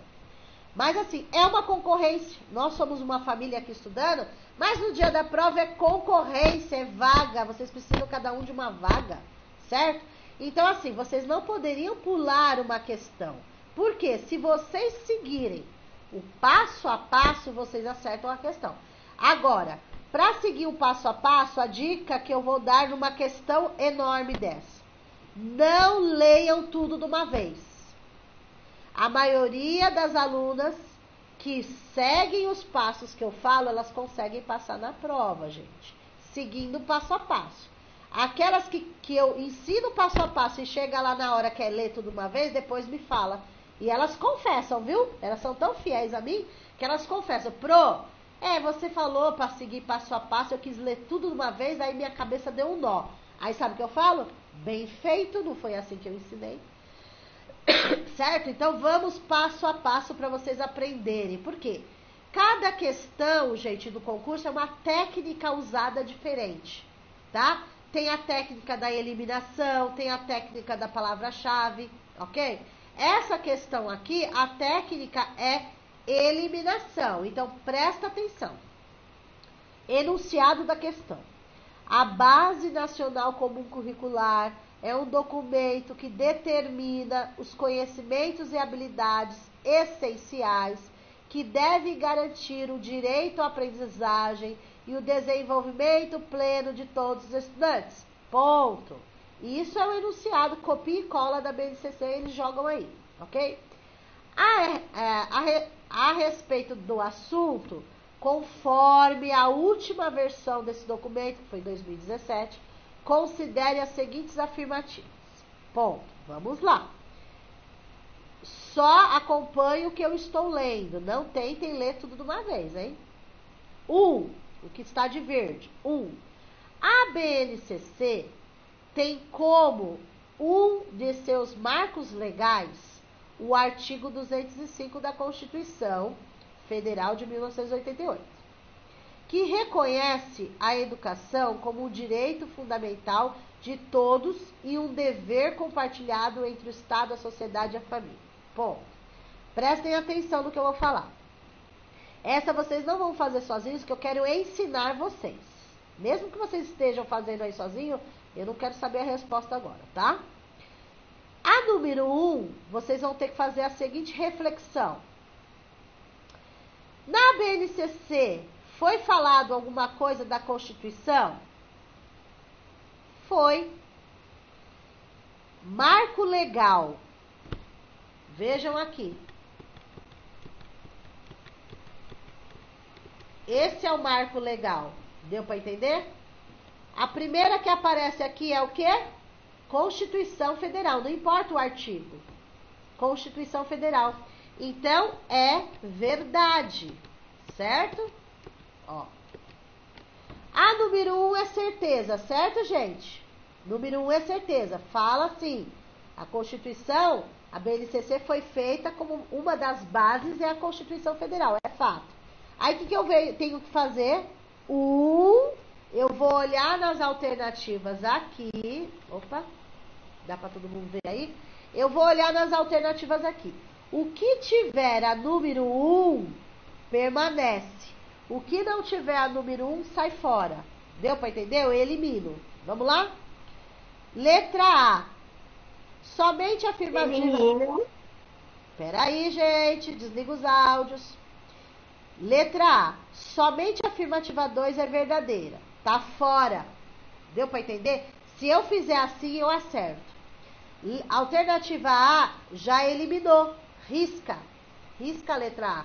Porque se a 1 é verdadeira, então a A tá errada. Deu para entender? Aí elimino a A. Letra B. 1 e 3. Eu não li a 3 ainda, então continua. A B continua. C. Somente 3 e 4. Está eliminada a C, porque se a 1 eu já dei a certeza, então a C eliminou. Deu para entender? A D, 1, 2 e 4. Permanece a D, porque a 1 está certa, eu tenho que ver as outras. E a E também continua que tem 1. Ou seja, todas que tiverem a 1 permanecem. O que não tiver a 1 sai fora, já está descartado. Então a alternativa correta não pode ser a A, não pode ser a C. Já eliminamos duas. Deu para entender? Se eu fizer passo a passo, eu elimino as que tem que eliminar, certo? A A eu não leio mais e a C eu já não leio mais. Vai ficar B, D e E, certo? Continuando. 2. Conforme a BNCC, as decisões pedagógicas devem considerar o, o desenvolvimento de competências, com indicações claras sobre o que os alunos devem saber e sobre o que eles devem saber fazer. É verdade? Competência que nós vimos hoje é saber e saber fazer? Tem dois saberes aí?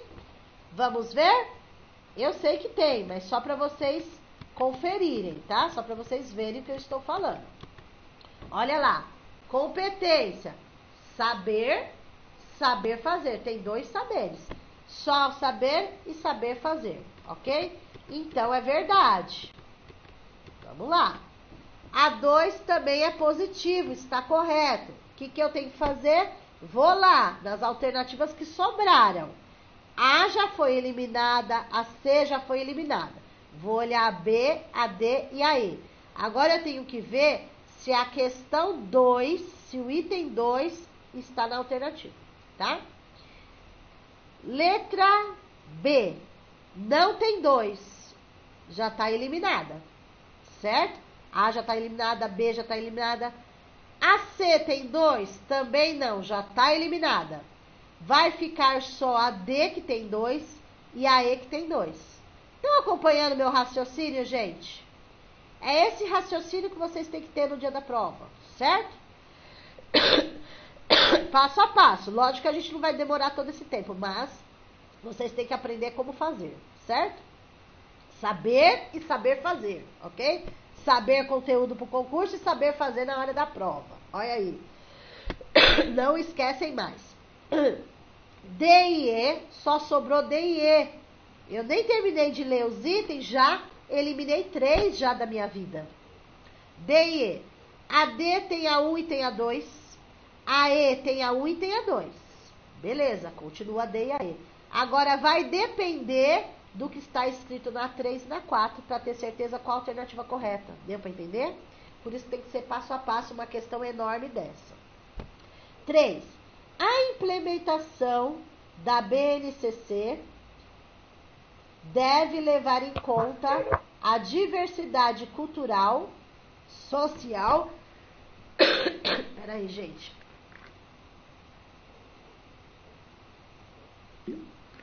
Minha garganta já está falhando. Eu tenho problema sério de voz. Vamos lá, de novo. A implementação da BNCC deve levar em conta a diversidade cultural, social e econômica dos estados brasileiros, possibilitando que cada instituição de ensino construa o seu currículo de forma independente e autônoma, usando como base somente as necessidades da comunidade local a que atende. E aí? Olha quantos erros na questão 3. Se fosse para cada um seguir o que quer, não precisaria ter a BNCC. Certo? Porque aí está falando, cada um faz o seu currículo de forma independente. Não, foi feita a BNCC, que é um documento normativo para ser seguido. Certo? Tem várias coisas incorretas na 3 já, né? Mas se eu encontrar uma coisa negativa, nem preciso ler o resto, tá? A questão 3 está incorreta certo? Aí eu vou olhar na D e na E que sobraram. A D não tem a 3 e a E tem a 3. Eu elimino a E porque a 3 está errada. A alternativa correta da prova é a letra D. É a letra D. Mas vejam, mas eu ainda não vi, nem, não li nem a 4 ainda e já sei que a alternativa da prova correta é a D. Mas por via das dúvidas, para ter a certeza, eu vou ler a 4, certo? Olha lá. Considerando que a educação básica deve propender à formação e ao desenvolvimento humano, a BNCC defende explicitamente o compromisso com a educação integral. É verdade? A BNCC defende a educação integral? Sim, nós vimos Sim. isso hoje, né? Então, agora eu tenho certeza que a alternativa correta da prova é a D de dado. A 1 está certa, a 2 está certa, a 4 está certa e só a 3 está incorreta. Demorou? Demorei, né, gente? Eu poderia falar para vocês, olhem aí, vejam qual que é, mas não. Tem que ser feito assim na hora dos treinos para vocês ficarem espertas no dia da prova, tá bom? Eu já vou dar, tem gente me perguntando, professora, os 10 minutinhos de café, mas deixa eu terminar o simulado primeiro. Daí eu dou uns 10 minutinhos de intervalo para depois a gente voltar com a BNCC infantil, tá bom? Continuando. Pro, Oi. A 3 ela vai contra a implementação de uma padronização para eliminar a fragmentação, né? Isso. Da, da educação, não é isso? Exatamente isso, ela está indo contra. Porque se lá está falando superar a fragmentação, aí está falando o contrário. Né? Então, por exemplo, se cada um fizer o currículo do jeito que quer, não vai superar a fragmentação. Não vai superar, porque daí cada um faz o que quer, aí não vai adiantar nada, né? É, vai, vai contra o que eles colocam lá, superar a fragmentação, padronizar, né? O padronizar entra aí. Muito bem, acho que é a Selma, né? Eu não tô vendo você, mas eu, pela voz, essa pergunta veio da Selma, só para ver se eu conheço mesmo meu aluno. É a Juliana. Ai, errei. Nossa, meu Deus. Também é tanto aluno, mas assim, tá com a voz da Selminha. Bom, a Selma tá Viana. Bom. Tem problema não. Não, tá bom, Juliana. É exatamente esse o pensamento, Ju tá? Tá certinho. Vamos lá. É tudo, a interpretação de texto também conta, viu, Ju? Exatamente esse pensamento que você está tendo. É, é, a interpretação de texto, né? Aqui vai totalmente contra o que eles falam, né? Tá certinho o seu pensamento. Ok. okay. Obrigada. Nada. Vamos lá. Deixa eu ver quantas tem até a hora do lanche. Só falta duas, gente, pra gente não quebrar aí, tá bom? sobre a Base Nacional Comum Curricular, BNCC, homologada em dezembro de 2017 pelo MEC, não é correto. Esse não pega muita gente na prova, que o pessoal vai no que é correto, só que aí eles estão pedindo o que não é correto. Não é correto. É o exceto. Ou seja, quatro alternativas estão corretas, de acordo com a BNCC. Só uma não está correta de acordo com a BNCC. Vamos ver qual é, ok? Eu vou ler todas. Essa daí eu não vou dar dica, não. Não vou dar dica, eu só vou ler depois eu vou falar para vocês abrirem o áudio para vocês me falarem, né? Qual que vocês acham? Não importa se uma acha que é A, outra acha que é B, só para a gente fazer uma, uma interação aí entre vocês, tá? Vamos lá. A.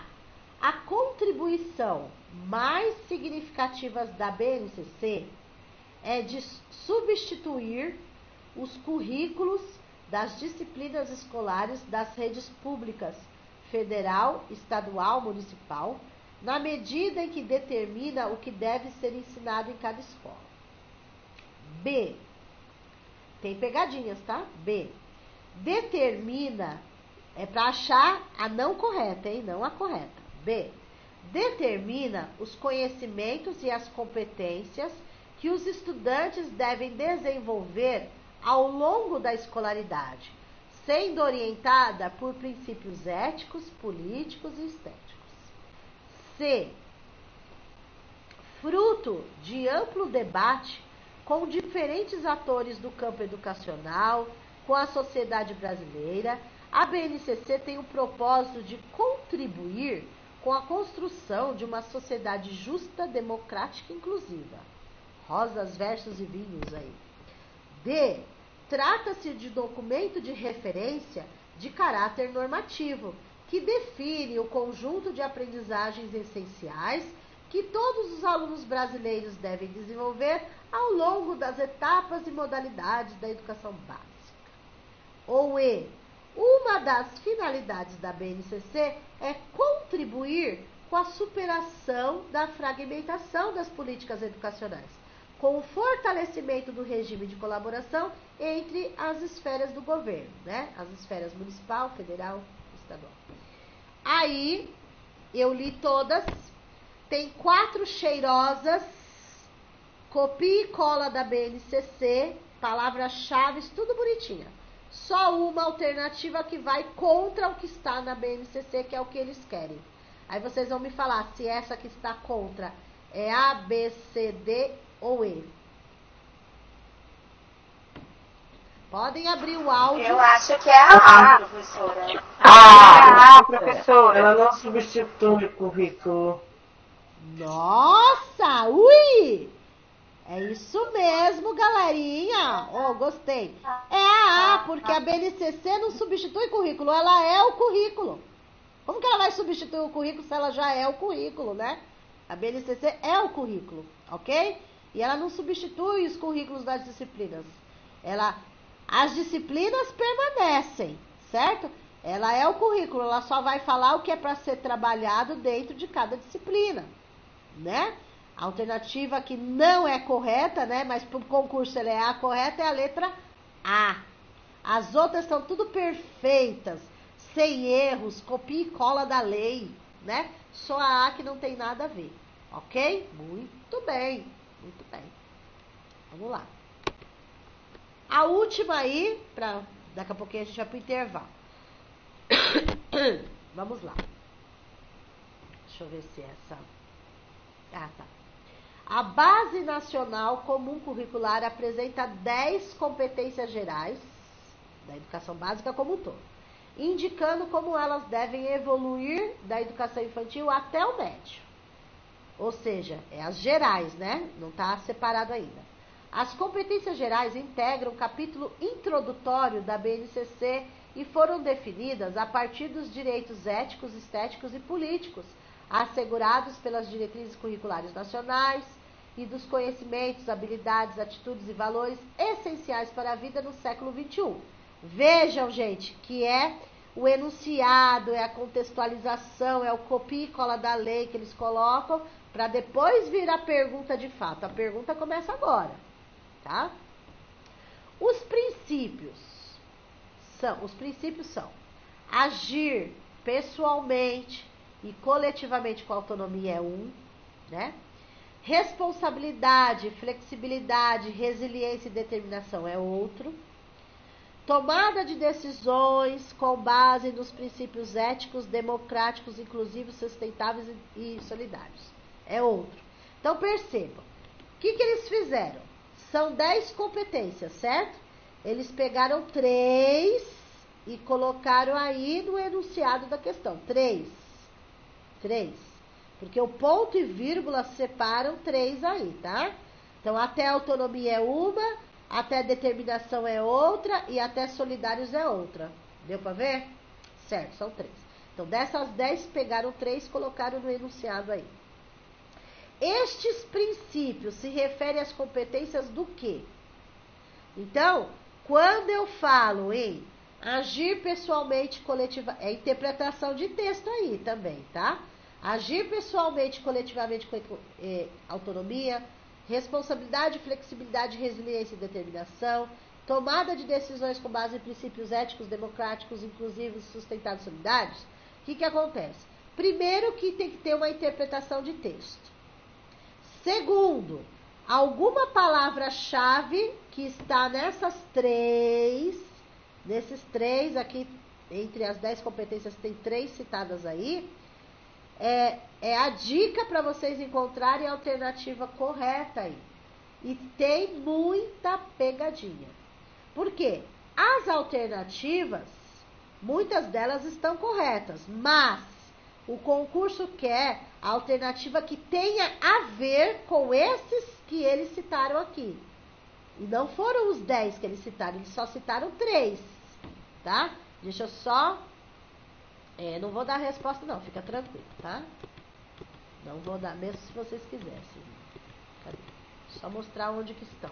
Aqui, ó. Valorizar, utilizar, exercitar, valorizar e fruir, utilizar, compreender, utilizar e criar, valorizar, argumentar, conhecer, se exercitar, agir, certo? Então, naquelas são 10, tá vendo? Ó, 10. Eles tiraram três e colocaram lá. E a pergunta que eles querem saber é: qual alternativa que tem a ver com esses três princípios? Então, esses três princípios têm a ver. Só lembro de você falando da empatia. Ah, é? Mas será que a empatia é desses três? Né? É, então, não sei. Então, assim, ó. Muitos. É, essa questão não é fácil, tá? Apesar das respostas serem curtinhas, não é uma questão fácil de concurso, essa não.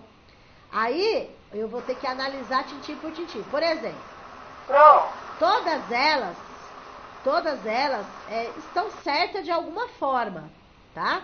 Tanto a A, B, C, D e E, certas de alguma forma. Porém, tem que ser uma alternativa que tenha a ver, que vai de encontro com esses três princípios aqui agir pessoal coletivamente com autonomia, responsabilidade, flexibilidade, resiliência e determinação, tomada de decisões, princípios, né? Aí, olha a análise. A. Conhecimento e repertório cultural tem a ver com esses três. B. Empatia, cooperação e comunicação tem a ver com o que eles estão falando aí. C. Cultura digital, trabalho e projeto de vida tem a ver com as características que eles apresentam aí? D. Autoconhecimento, autocuidado, argumentação tem a ver com o que eles estão apresentando aí? E aí, responsabilidade e cidadania tem a ver com o que eles estão apresentando aí? Então, o que vocês têm que pensar é qual dessas alternativas tem mais a ver com o que eles estão apresentando aí? Às vezes vocês encontram uma palavra-chave aí que tenha na própria resposta. Deu para entender? Então tem que ser uma alternativa que tem mais a ver, eu não posso dar a resposta. Mas depois que vocês analisarem, aí depois da resposta eu explico por quê, tá bom? Então tem uma alternativa que é a que tem mais a ver com o que está falando aí. Eu acho que é a B, professora. B de bola? Porque, B de bola. Tá, porque quem mais? aqui, ó agir pessoal e coletivamente. Quando a gente age coletivamente, a gente se coloca no lugar do outro, Exatamente. agindo com empatia. Só, só que tem um detalhe. Não, você tá com o pensamento certo, tá? O seu pensamento está correto. Mas nós não podemos esquecer que são três. Não, três itens. Então, o que você falou? Peraí, gente, só um minutinho. O que a aluna acabou de falar, o que a professora acabou de falar, está correto. O agir pessoalmente, coletivamente com autonomia tem a ver com empatia, cooperação e comunicação. Ela está certa, certo? Porém, eu tenho que analisar os três de uma vez só. Esse a B só estaria de encontro com a primeira e não com as outras. Esse é o problema. Não é a B. Deu pra Eu acho que é a D. Qual? A D, a letra D. D, autoconhecimento, autocuidado e argumentação. Certo, vamos esperar mais gente para ver o que, que, mais falam. Ah, eu acho que é a E, professora. Quem tá falando? tem E a Thelma. Thelma, porque... você acha que é o que, Thelma? Eu acho que é a E, porque tem democráticos que se incluem na cidadania. É. E tem também, e tem também é, responsabilidades que se incluem com tomada de decisões. Então eu acredito que se encaixa mais na E. É. Inclusive, gente, obrigada, Thelma. Inclusive, gente, essa questão do concurso deu até um BO. A, é, entraram com recurso nessa questão do concurso, mas eles permaneceram com a mesma alternativa, não foram, não, não, não, não cancelaram essa questão não, tá? Apesar que eu, eu, eu professora Fernanda, não estou falando, né, não estou discriminando a VUNESP não, mas eu acho que essa questão aí é, foi um pouco mal aí elaborada nas respostas. Per, não na pergunta, mas nas respostas tá, tá meio incompleta, digamos assim. É como a duplicidade nas respostas, não é isso, professor? Exatamente isso. Tem uma duplicidade aí que entraram com recurso, só para vocês entenderem que pode acontecer com vocês de ter a alternativa que tenham duas respostas corretas e daí dar recurso. Aí eles têm que cancelar é, e dar um ponto naquela questão, não cancelar o concurso, né? Cancelar a, a, pergunta e dar um ponto para cada um. Isso pode acontecer, tá? Quem mais quer falar alguma coisa aí? Não? É, vamos lá. Professora, eu também acredito que seja D. D? É. Eu colocaria D, né? Porque alto, né? Coletivamente com autonomia. É. Porque ele fala autoconhecimento, autocuidado e argumentação. É. Uh, vamos lá. Então, eu vou falar a resposta, muita gente não vai concordar, porque até entraram com recurso, mas não adiantou o recurso. A alternativa correta, que acho que foi a Thelma até que falou, não sei, é a letra E, responsabilidade e cidadania. Aí eu vou explicar por que, que a VUNESP falou que essa é a certa, tá? É, agir pessoalmente e coletivamente com autonomia, eles disseram que também faz parte tanto de responsabilidade quanto de cidadania, tá? Mas é mais é, focado na responsabilidade. Eu agir, né? A minha ação envolve tanto o meu pessoal, como eu também tenho que pensar no outro. Então, é uma questão tanto de responsabilidade quanto de cidadania. Foi isso que a Vunesp explicou. Depois, no item 2, responsabilidade, flexibilidade, resiliência e determinação também entraria na responsabilidade, que já tem a responsabilidade lá. E no item, e no terceiro, além da tomada de decisões com base em princípios éticos, democráticos, inclusivos, sustentáveis e solidários, faz parte tanto da, da responsabilidade e principalmente da cidadania, porque fala do, algum aluno aí já falou, dos princípios democráticos, tá? Então, assim, a alternativa correta é a E, embora Embora eu, na minha opinião pessoal, é, as respostas deveriam estar mais completas, porque é, numa questão dessa, muita gente erraria, não pelo, pela falta de conhecimento, talvez, né? Não por isso, mas porque é, muitas alternativas poderiam ser, porque como, é, como são palavras, né? Uma aluna falou aí duplicidade, uma coisa assim, né? Dualidade, duplicidade, sei lá. Enfim, deu para entender? Mas essa questão aí deu um BO danado, mas eles permaneceram na letra E e explicaram o porquê, tá? Mandaram, mandaram olhar lá o porquê nessa, na, na, nas competências lá. Enfim. Então, agora nós vamos dar uma parada. Deixa eu ver o horário. Nossa, já? É. É, vamos dar uma paradinha. Dez minutinhos aí.